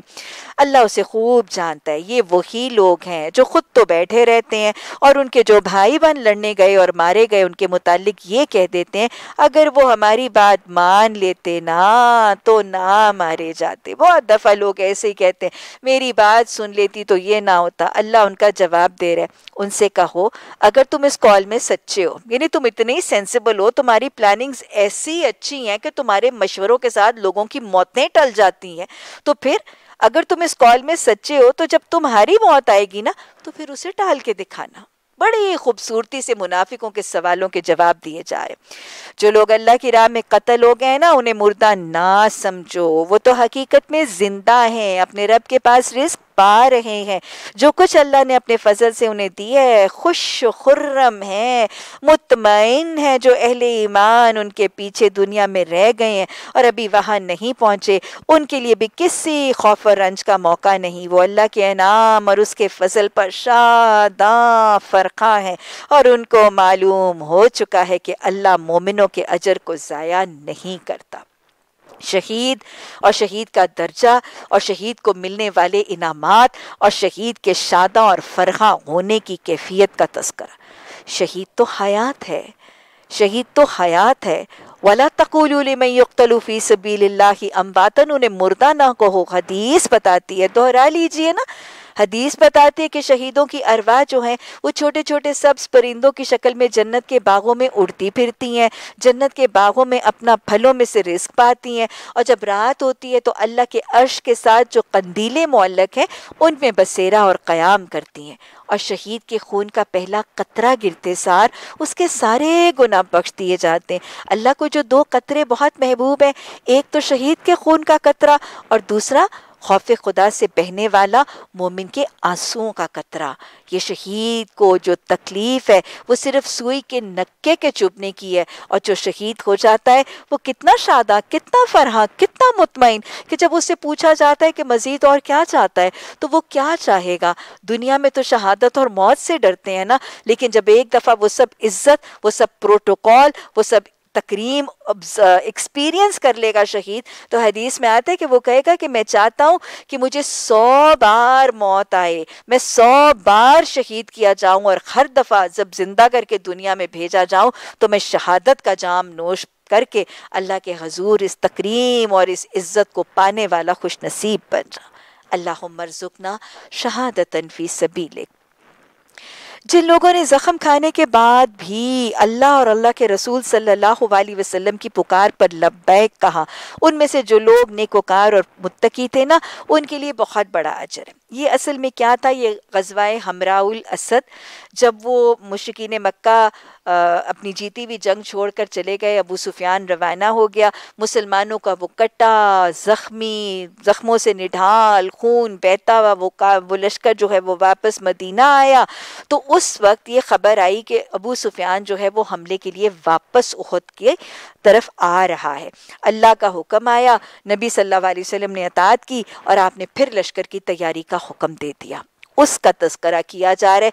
इतना ईमान अफरोज रुदाद आज बस औकात हमें दौरे कुरान में इतना वक्त नहीं होता कि मैं वो रुदादें सुना सकूँ कि कैसे जब नबी सल्लल्लाहु अलैहि वसल्लम ने इस कटे, फटे, जख्मी, निढाल, गमों से, दुखों से परेशान पूरा का पूरा मदीना का माशरा, कोई बच्चे यतीम हो गए, कोई औरतें बेवा हो गई, इस माहौल में नबी सल्लल्लाहु अलैहि वसल्लम ने फिर लश्कर की तैयारी का हुक्म दिया।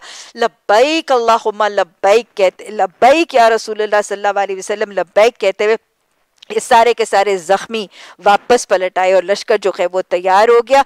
हमें पता चलता है, खूबसूरत छोटा सा वाक्य है कि दो भाई थे और दोनों बहुत जख्मी थे और सवारी इनके पास थी ही नहीं।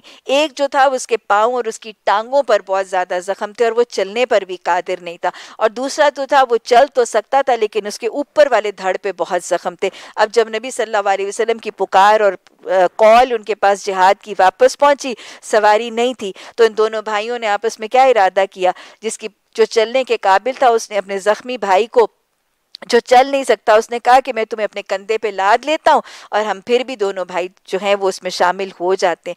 ये अपने भाई को जख्मी हालत में, खुद भी जख्मी, वो भी जख्मी, अपने जख्मी भाई को कंधे पर लाद के रिश्ते व खून के साथ ये लोग हाजिर हो गए। इनका तस्करा किया जाए कि वो लोग जो मुत्तकी और जिन्होंने एहसान किया, उनके लिए बहुत बड़ा अजर है। और जिनसे लोगों ने कहा किन से कहा? मुनाफिकीन ने कहा था ना, तुम्हारे खिलाफ तो बड़ी फौजें जमा हो गई हैं। मुनाफिकीन ने कहा, अभी पहले कट के नहीं आए हो, अभी पहले जख्मी होके आए हो, तुम्हें अभी सुकून नहीं आया कि फिर तुम फिर चल पड़े हो? तुम्हारे खिलाफ तो बड़ी फौजें जमाए, उनसे डर जाओ तो ये सुन के उनका ईमान और बढ़ गया और उन्होंने जवाब दिया हसबुन अल्लाह हमें अल्लाह काफ़ी है और बेहतरीन कारसाज है।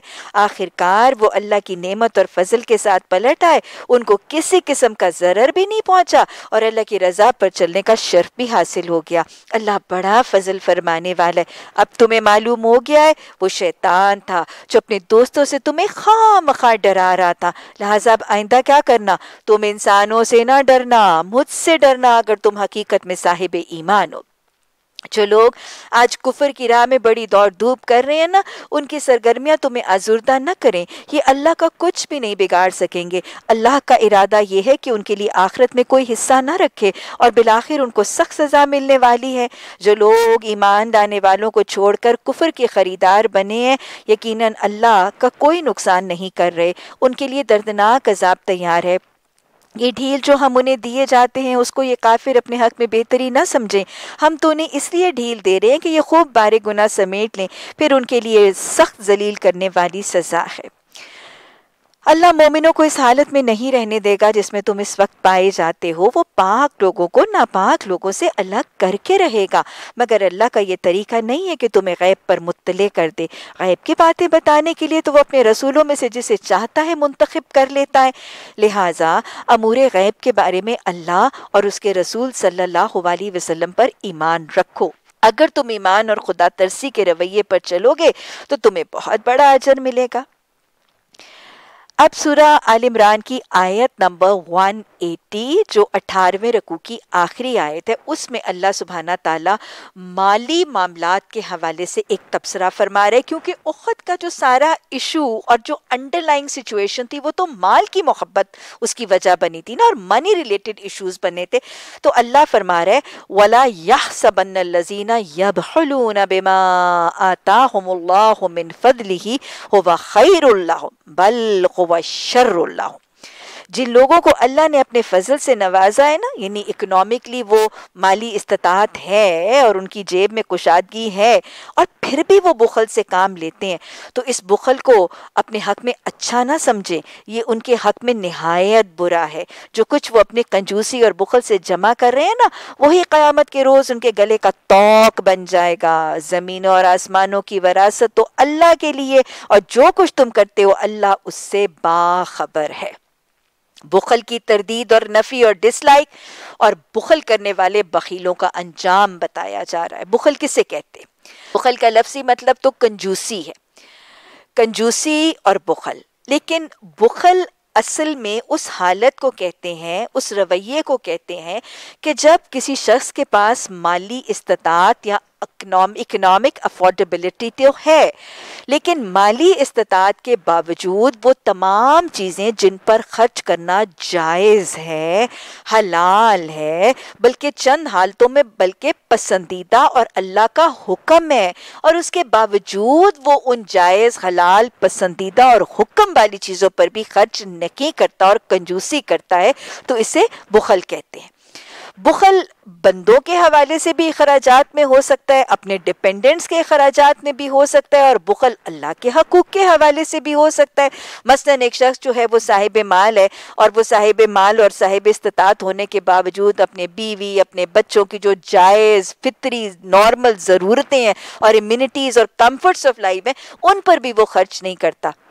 हदीस में आता ना अहले खाना पर खर्च करने के हवाले से कि तुम्हारा एक दिरहम वो है जो तुम अपनी, अपने ज़ात पर खर्च करते हो, एक वो है जो अपनी बीवी और अपने अहले खाना पर खर्च करते हो, एक वो है जो अपने गुलाम पर खर्च करते हो, एक वो है जो तुम सदका करते हो तो तुम्हारा बेहतरीन दिरहम वो है जो तुम अपने और अपने अहले खाना पर खर्च करते हो। वो माल जो कोई शख्स अपनी बीवी, अपने बच्चों की ज़रूरियात ज़िंदगी के लिए खर्च करता है, वो तो उसके लिए और अल्लाह की रजा और अतात के पेश नज़र खर्च करता है तो वो उसके लिए सदका है। हदीस में आता है कि वो लुकमा जो कोई शख्स अपनी बीवी के मुँह में डालता है, वो उसके लिए सदका है, वो उसके लिए बेहतरीन अजर का ज़रिया है। तो एक तो बुखल इस हवाले से और ये कंजूसी, लेकिन यहाँ पर जिस बुखल की बुनियादी तौर पर बात की जा रही है, वो माल पर वो साहिब माल के मालदार होने के बावजूद वो जब माल पर अल्लाह का हक यानी ज़क़़त और सदकात अदा नहीं करता तो उस बुखल की तरदीद की जा रही है कि अगर तुम साहिब निसाब होने, साहिब ज़क़़त होने के बावजूद भी बुखल करके अपने माल पर अल्लाह का हक, ज़क़़त और सदकात की शक्ल में खर्च नहीं करते तो इस कंजूसी को वो जो 99 के चक्कर में तुमने अपने माल को बढ़ाने के चक्कर में हिरस अवस्थमा में आके बुखल कर रहे हो, ये बुखल तुम्हारे लिए अच्छा नहीं है। ये क्या है? ये तुम्हारे गले का तोक बन जाएगा। और ये मैं आपको बारहा बता चुकी हूँ कि कुरान की आयत की तशरी और तोज़ी हमेशा हदीस से होती है। ये कौन सा तोक है? हदीस वाजे करती है। आप सल्लल्लाहु अलैहि वसल्लम ने फरमाया कि क़यामत के दिन वो लोग जिन्होंने ज़क़़त अदा नहीं की होगी, वो माल एक गंजे सांप की शक्ल में जिसकी आँखों पर स्याह नुकते होंगे, वो उनके गले का तोक बन जाएगा। और रावी कहते हैं कि ये गंजा इसलिए कहा गया कि वो जहर की शिद्दत की वजह से उसके सर पर बाल नहीं होंगे। गंजा साम जिसकी आँखों पर दो स्या नुकते होंगे, उनके गले का तोक बना दिया जाएगा। वो उनकी बादशों को बादशों के ये जो मुँह के कॉर्नर है ना, इसको बादशे कहते हैं। उसकी बादशों को पकड़ेगा, उन्हें चीरेगा और कहेगा, अना मालू का, अना कंजू का, मैं तुम्हारा मालू और मैं तुम्हारा वो खजाना हूँ जिस पर तुम अल्लाह का हक नहीं देते। तो ये है वो तोक जो बुखल और जक़ात, मानईन जक़ात का अंजाम। और सूरत तौबा में इंशाल्लाह हम पढ़ेंगे। अल्लाह ने इससे बहुत ज़्यादा है बदनाक अंजाम बता दिया। वल्लजीना यकनिजून ज़हब वल फिज़्ज़ता वला युनफिकूनहा फ़ी सबीलिल्लाह फबश्शिरहुम बिअज़ाबिन अलीम। वो लोग जो सोने चांदी के ढेर जमा करते हैं और उनको अल्लाह की राह में खर्च नहीं करते, उन्हें दर्दनाक अजाब की खुशखबरी दे दो सरकास्टिकली कहा जा रहा है। वो सोना चांदी कयामत के दिन उसको जहन्नुम की आग के ऊपर, जो दुनिया की आग से उनहत्तर गुना गर्म है, उसको दागा जाएगा, तापा जाएगा, फिर उनकी पेशानियों को, उनके पहलुओं को, उनकी पीठों को दागा जाएगा। स्टैम्प किया जाएगा, कहा जाएगा, हाजा मकनिस तुम ये माल जो तुम जमा करते थे, अब जलने के अजाब का मज़ा चखो। और बुखारी की वो तवील हदीस फिर इस सूरा तोबा की आयत की तशरी करती है कि जिन्होंने सोने चांदी की जक़ात नहीं दी होगी, उनको मुँह के बल मैदान हशर में लेटा दिया जाएगा और फिर तख्तियाँ बना के जहन्नुम की आग के ऊपर ताप के इनकी पीठों को दागा जाएगा और तख्तियाँ ठंडी होंगी तो फिर दहका दिया जाएगा और ये अमल एक हज़ार साल तक जारी रहेगा। लोगों का हिसाब किताब होगा और वरस्ता जन्नत या जहन्नुम की तरफ़ लेंगे। ऊँटों की जक़ात नहीं दी होगी तो वो मोटे होकर आएँगे, वो उनको अपने पाँव से रून देंगे, मुंहों से काटेंगे और वो बिल बिलाएँगे और ये अमल एक हज़ार साल जारी रहेगा। बकरियों की जक़ात नहीं दी होगी तो वो बकरियाँ आएँगी, उनको अपने अपने खुरों के साथ कुरे देंगी, अपने सींदों के साथ उखाड़ेंगी और ये अमल एक हज़ार साल जारी रहेगा। ये है वो अंजाम। और हदीस ने तो बता दिया था कि रोज सुबह और रोज शाम दो फरिश्ते आसमान पर दुआ करते हैं कि अल्लाह रोक रखने वालों का माल बर्बाद कर दे और खर्च करने वालों के माल में बरकत डाल। तो ये है वो बुखल का अंजाम। अल्लाह हमें दिलों की सख्ती से बचाए। अल्लाह ने उन लोगों का कॉल सुना जो कहते हैं कि अल्लाह फ़कीर है और हम गनी हैं। उनकी बातें भी हमने लिख ली और उनसे पहले जो वो पैगंबरों को नाहक कत्ल करते थे और उनके नामा अमाल में सब थे। जब फैसले का वक्त आएगा, उस वक्त हम उनसे कहेंगे, लो अब अजाब जहन्नुम का मज़ा चक्को ये तुम्हारे अपने हाथों की लाई हुई कमाई है।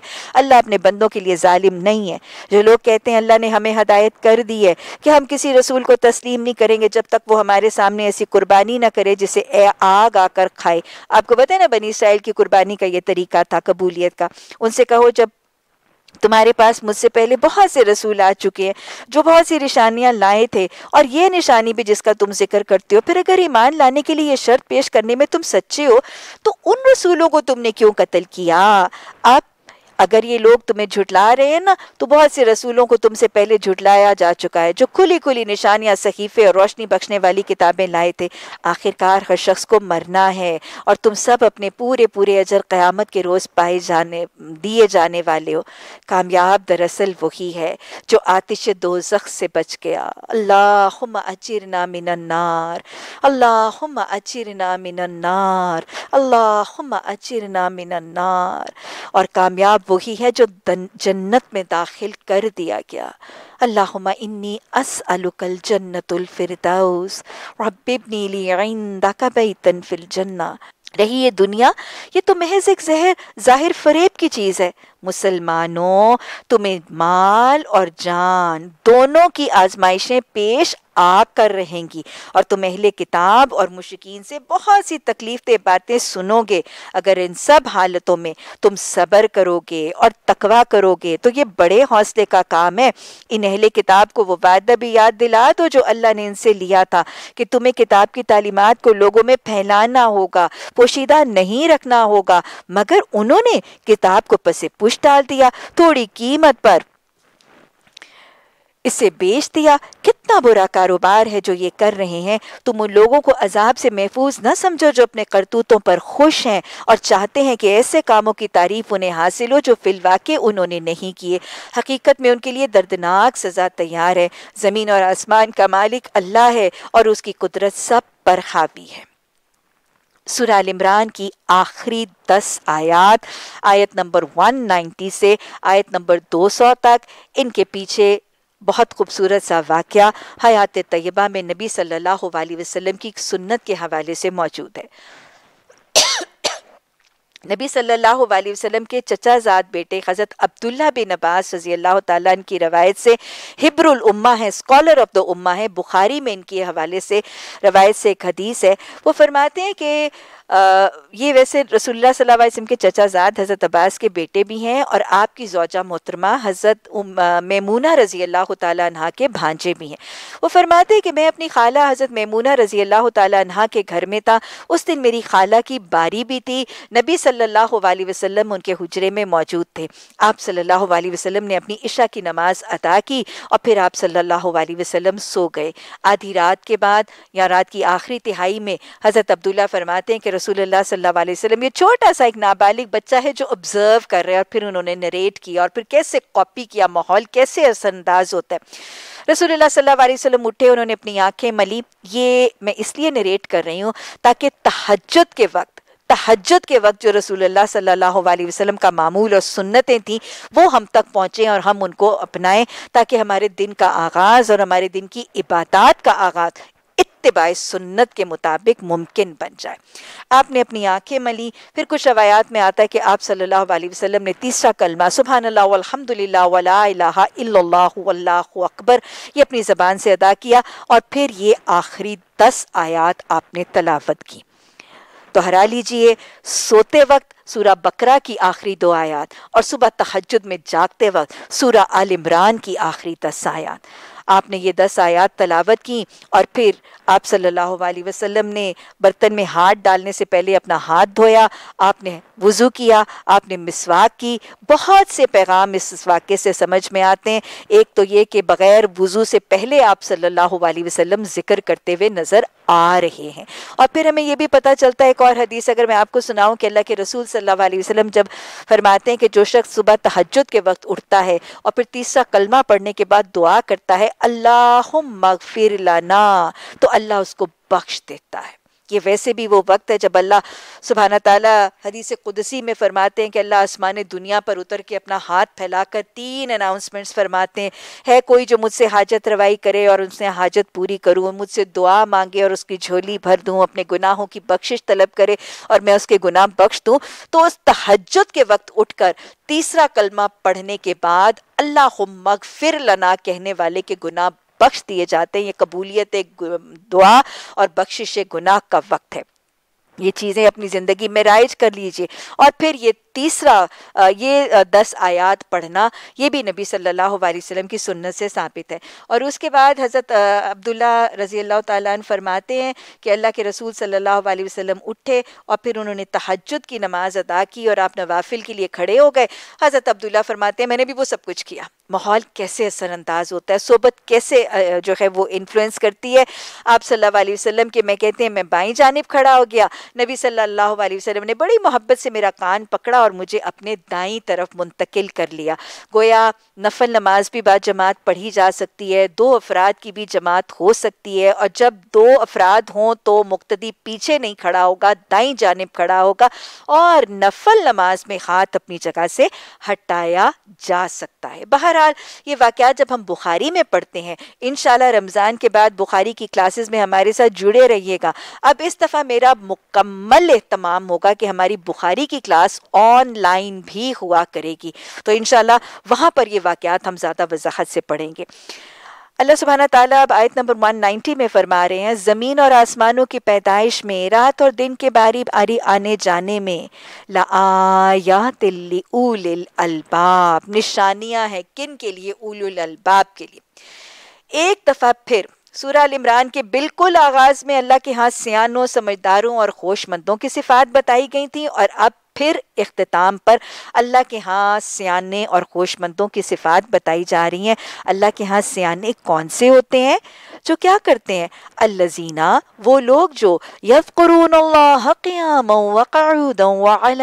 जुनूब वो लोग जो उठे, बैठे, लेटे, हर हाल में अल्लाह को याद करते हैं। तो अल्लाह के यहाँ सियाने कौन है जो दिलों में अल्लाह की याद और जबान में अल्लाह का नाम ज़िक्र करते हैं? अल्लाह के यहाँ जाकिर लोग सियाने खुशमंद और समझदार है। अल्लाह हमें ऐसा सियाना जाकिर बना दे। और फिर इस आयत से ये भी पता चल रहा है कि अल्लाह के यहाँ पसंदीदा ज़िक्र का तरीका क्या है। मैं पहले भी बात कर चुकी हूँ। मोमिन के ज़िक्र का तरीका, चलते, बैठते, उठते, फिरते, हर वक्त कोई ज़िक्र और तस्बीहात के लिए और वजीफ़ों के लिए काम काज, धंधे, जिम्मेदारियाँ छोड़कर किसी खास वक्त से किसी खास वक्त तक एक कोने में बैठकर ज़िक्र करना, ये वजीफ़े करना नबी सल्लल्लाहु अलैहि वसल्लम की तालीमात नहीं है। आपने जो सबसे लंबा वजीफ़ा बताया, वो नमाज़ के बाद के मसनून असकार और तस्बीहात हैं, या सुबह शाम के असकार हैं, या दाबे ज़िंदगी की दुआएँ हैं।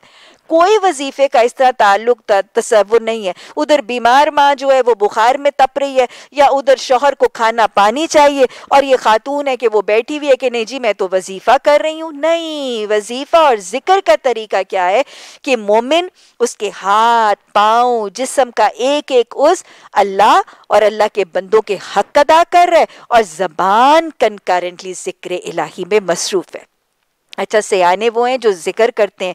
लेकिन सिर्फ़ अल्लाह की सिफात का ज़िक्र नहीं करते। क्या करते? वो यतफ़क करूना फ़ी खल के समावाती वलड़ इर्द गिर्द जो अल्लाह की सिफात हैं, उसमें फिर अल्लाह की कायनात में गौर और फ़िक्र भी करते हैं। और जब ये कॉम्बिनेशन हो जाती है, ज़िक्र और फ़िक्र की कॉम्बिनेशन उनको मिलती है तो उनको फिर ज़िंदगी की हकीकतें खुलने लगती हैं। ज़िंदगी के रमूज और राज अनरेवल होने लगते हैं। ज़िक्र के बाद जब गौर व फ़िक्र करते हैं तो उन्हें तो ज़िंदगी की हकीकत, दुनिया की असल इंपॉर्टेंस फ़ौरन समझ में आ जाती। है वो बेख्तियार पुकार उठते हैं। परवरदिगार, ये ज़िक्र और फ़िक्र के बाद हो रहा है।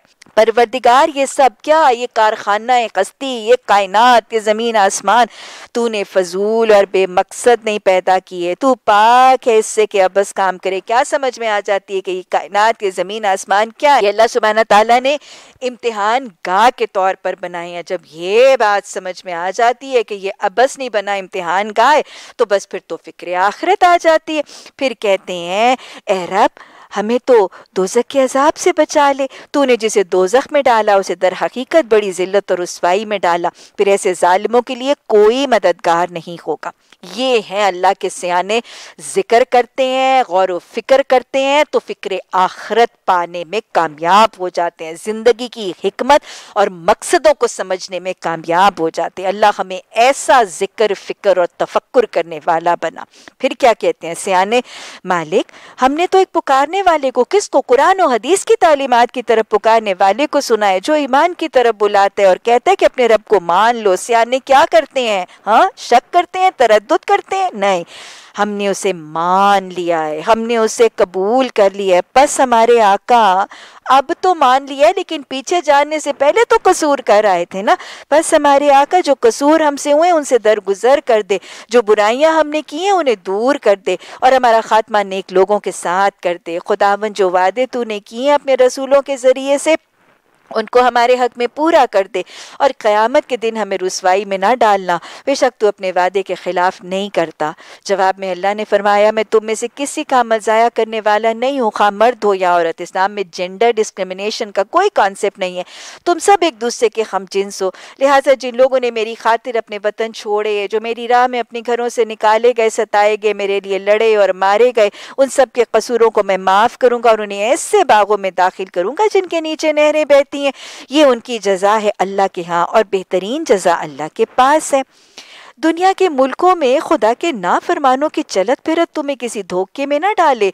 ये महज चंद रोजा ज़िंदगी का थोड़ा सा लुत्फ है, फिर ये सब जहन्नुम में जाएँगे जो बदतरीन जाए करार। अल्लाह तजल्ला मिनहुम। बरक्स इसके कि जो लोग अपने रब से डरते हुए ज़िंदगी बसर करते हैं ना, उनके लिए ऐसे बाग हैं जिनके नीचे नहरें बहती होंगी। उन बागों में वो हमेशा रहेंगे। अल्लाह की तरफ़ से ये सामान ज़ियाफ़त हैं उनके लिए। और जो कुछ अल्लाह के पास नेक लोगों के लिए है ना, वही सबसे बेहतर है। अल्लाह हमें उस पर ईमान और उसका हिरस और यकीन अता फरमा। अहले किताब में से कुछ लोग ऐसे हैं जो अल्लाह को मानते हैं, इस किताब पर ईमान लाए हैं जो तुम्हारी तरफ़ भेजी गई है, उस किताब पर भी ईमान रखते हैं जो उससे पहले खुद उनकी तरफ़ भेजी गई थी। अल्लाह के आगे झुके हुए हैं, अल्लाह की आयात को थोड़ी सी कीमत पर बेच नहीं देते। उनका अजर उनके रब के पास है और अल्लाह हिसाब चुकाने में देर नहीं लगाता। ये सारे के सारे जो सूरा आल इमरान का तबसरा है, उसके बाद अब फाइनली आयत नंबर 200 में फाइनल हतमी मशवरा और रहनुमाई। उस मदीना के माशरे में और माहौल में एक इस्लामी रियासत को दुश्मनों की चालों से बचाने के लिए और हर किस्म के फितने, इंतशार और बिगाड़ से बचाने के लिए रहती दुनिया तक इस्लामी माशरों और इस्लामी ममलिकतों को पैगाम।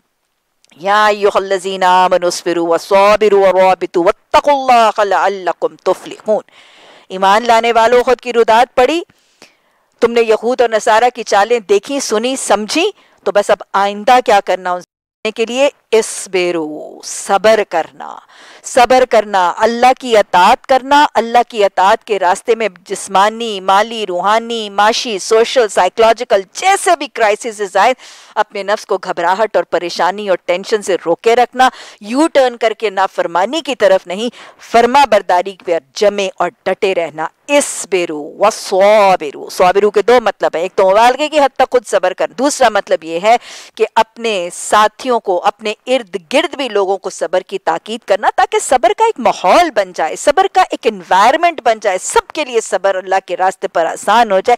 वही जो अल्लाह ने सूर असर में फरमाया ना कि सारे लोग खसारे में इन इंसान लफी खुसरिन इल्लजीना आमनु वामिलु स्वालिहाती व तवासौ बिल हक व तवासौ सब्र तो स्वाबिरु व, स्वाबिरु का मतलब यह कि तवासौ पे सब्र करो ताकि एक टोटल इन्वायरमेंट ऑफ़ सफ़र और टॉलरेंस का एक माहौल बन जाए।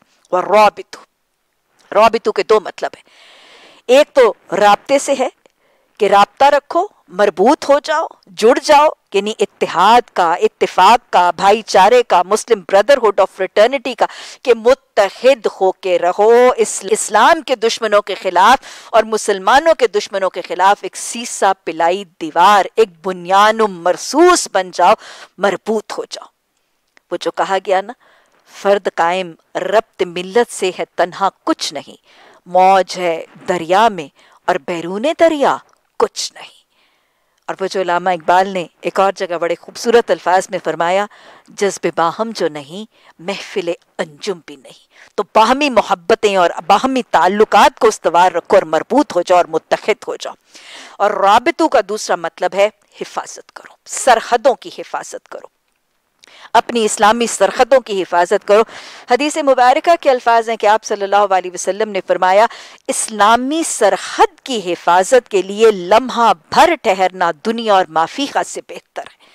और फिर आपने अपनी तरजीहत में फरमाया कि मैं इस्लामी सरहद की हिफाजत में रात गुजारूं। मुझे इससे बेहतर है कि मैं सारी रात हजर असवद के सामने कयाम करूँ। ये इस्लामी सरहदों की हिफाजत का अजर और फजीलत है। तो अल्लाह फरमा रहा है राबतू अपनी इस्लामी सरहदों की हिफाजत करो।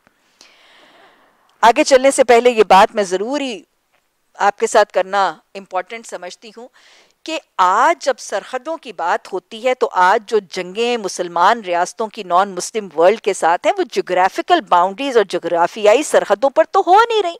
आज तो जंगों का तरीकाकार बहुत बदल गया है।